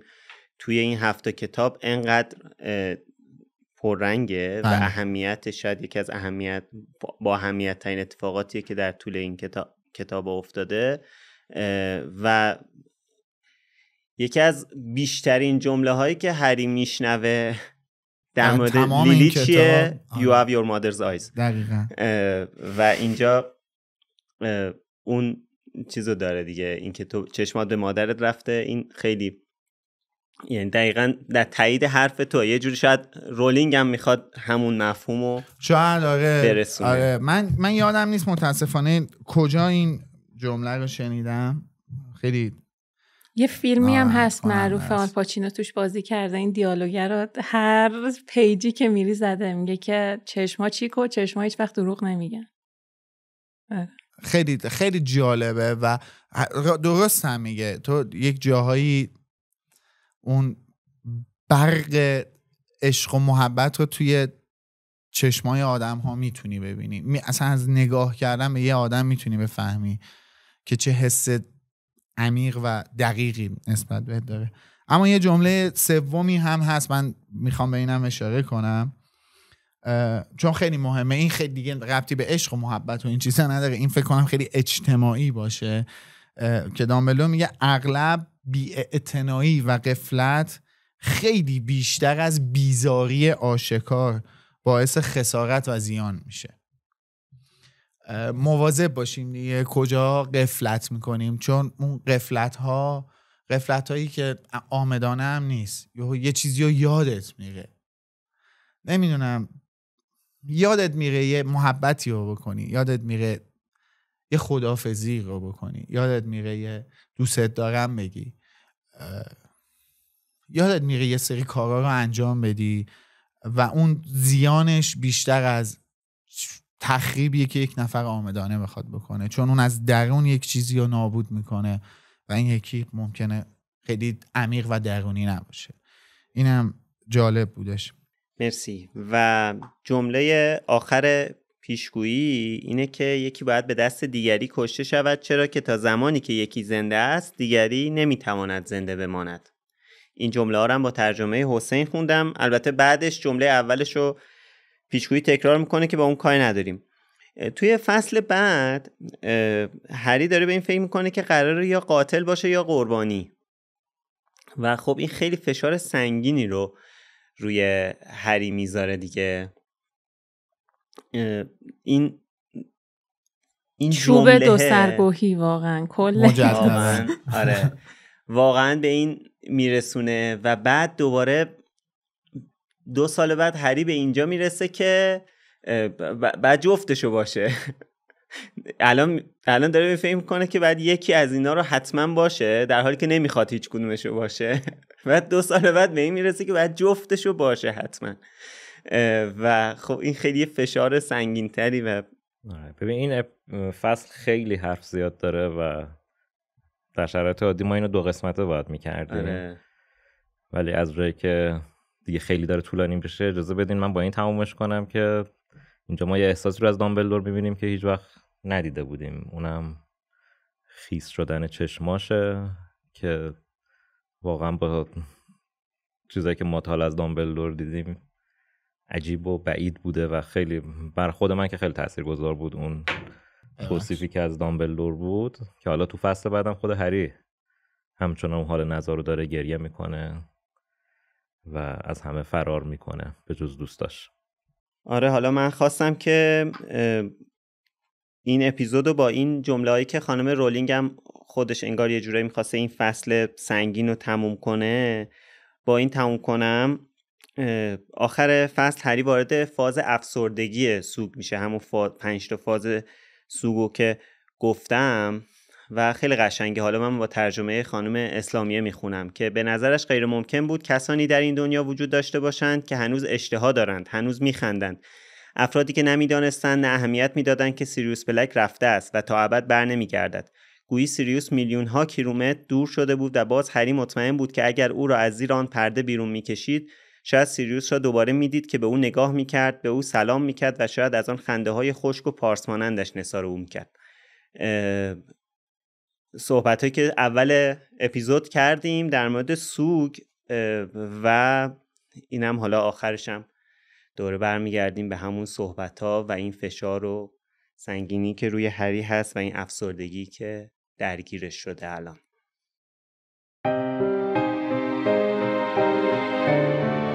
خب مرسی که تو این اپیزود طولانی و سنگین همراهمون بودین. و همین دیگه واقعا. مرسی که توی نظرسنجیمون شرکت می‌کنید و اگر هنوز توی نظرسنجی یا پرسشنامه آخر فصلمون شرکت نکردین من خواهش می‌کنم که حتما این کارو بکنید. ما داریم الان در مورد season بعدی با همدیگه صحبت می‌کنیم. ساعتها جلسه می‌ذاریم در مورد season بعدی و نظراتتون قطعا تاثیر داره توی تصمیماتی که ما برای اپیزودهایی که 5 6 هفته دیگه میشنوید می‌گیریم. از من خدافظ آره از طرف منم خدا نگهدار. فقط ببخشید نیمه دوم فصل صدای من یه مقدار غیر قابل تحمل شده و من سه هفته پیش یه سرمایی خوردم هنوز مونده با هم. آره خدا نگهدار. مرسی از همتون. اگه دوست داشتین از ما حمایت کنین از طریق سایت مرکز دنیای جادوگری لینک حمایت هست و دوست خارج از کشور هم مثل همیشه از سوپر تنکس یوتیوب. اگه دوست داشتن می‌تونن از همون حمایت کنن. دم همتون گرم. تا هفته بعد که آخرین فصل کتابه خدافظ بله منم خدافزی می‌کنم ازتون. با تشکر از حسین غریبی حسین احمقی و متین آبان عزیز. مرسی که تا اینجا همراهیمون کردین. یه چیزی به آخرش نمونده دیگه. خیلی پا به پای ما تا اینجا اومدین. دمتون گرم. بچه ها گفتن یا گفتن. من فقط در انتها از برای بچه های جی مکس هم تشکر می‌کنم. مخصوصا آقا مرتضی عزیز که پای صحنه خیلی اذیتشون می‌کنه و تا عیاز که همراهمونه. آره عیاز هم خیلی از اپیزودا آره بنده خدا. خیلی از اپیزودا پای صحنه اومده و سعی کرده کمک کنه که اپیزودا بهتر باشه. از عیازم باید درست حسابی تشکر کنیم.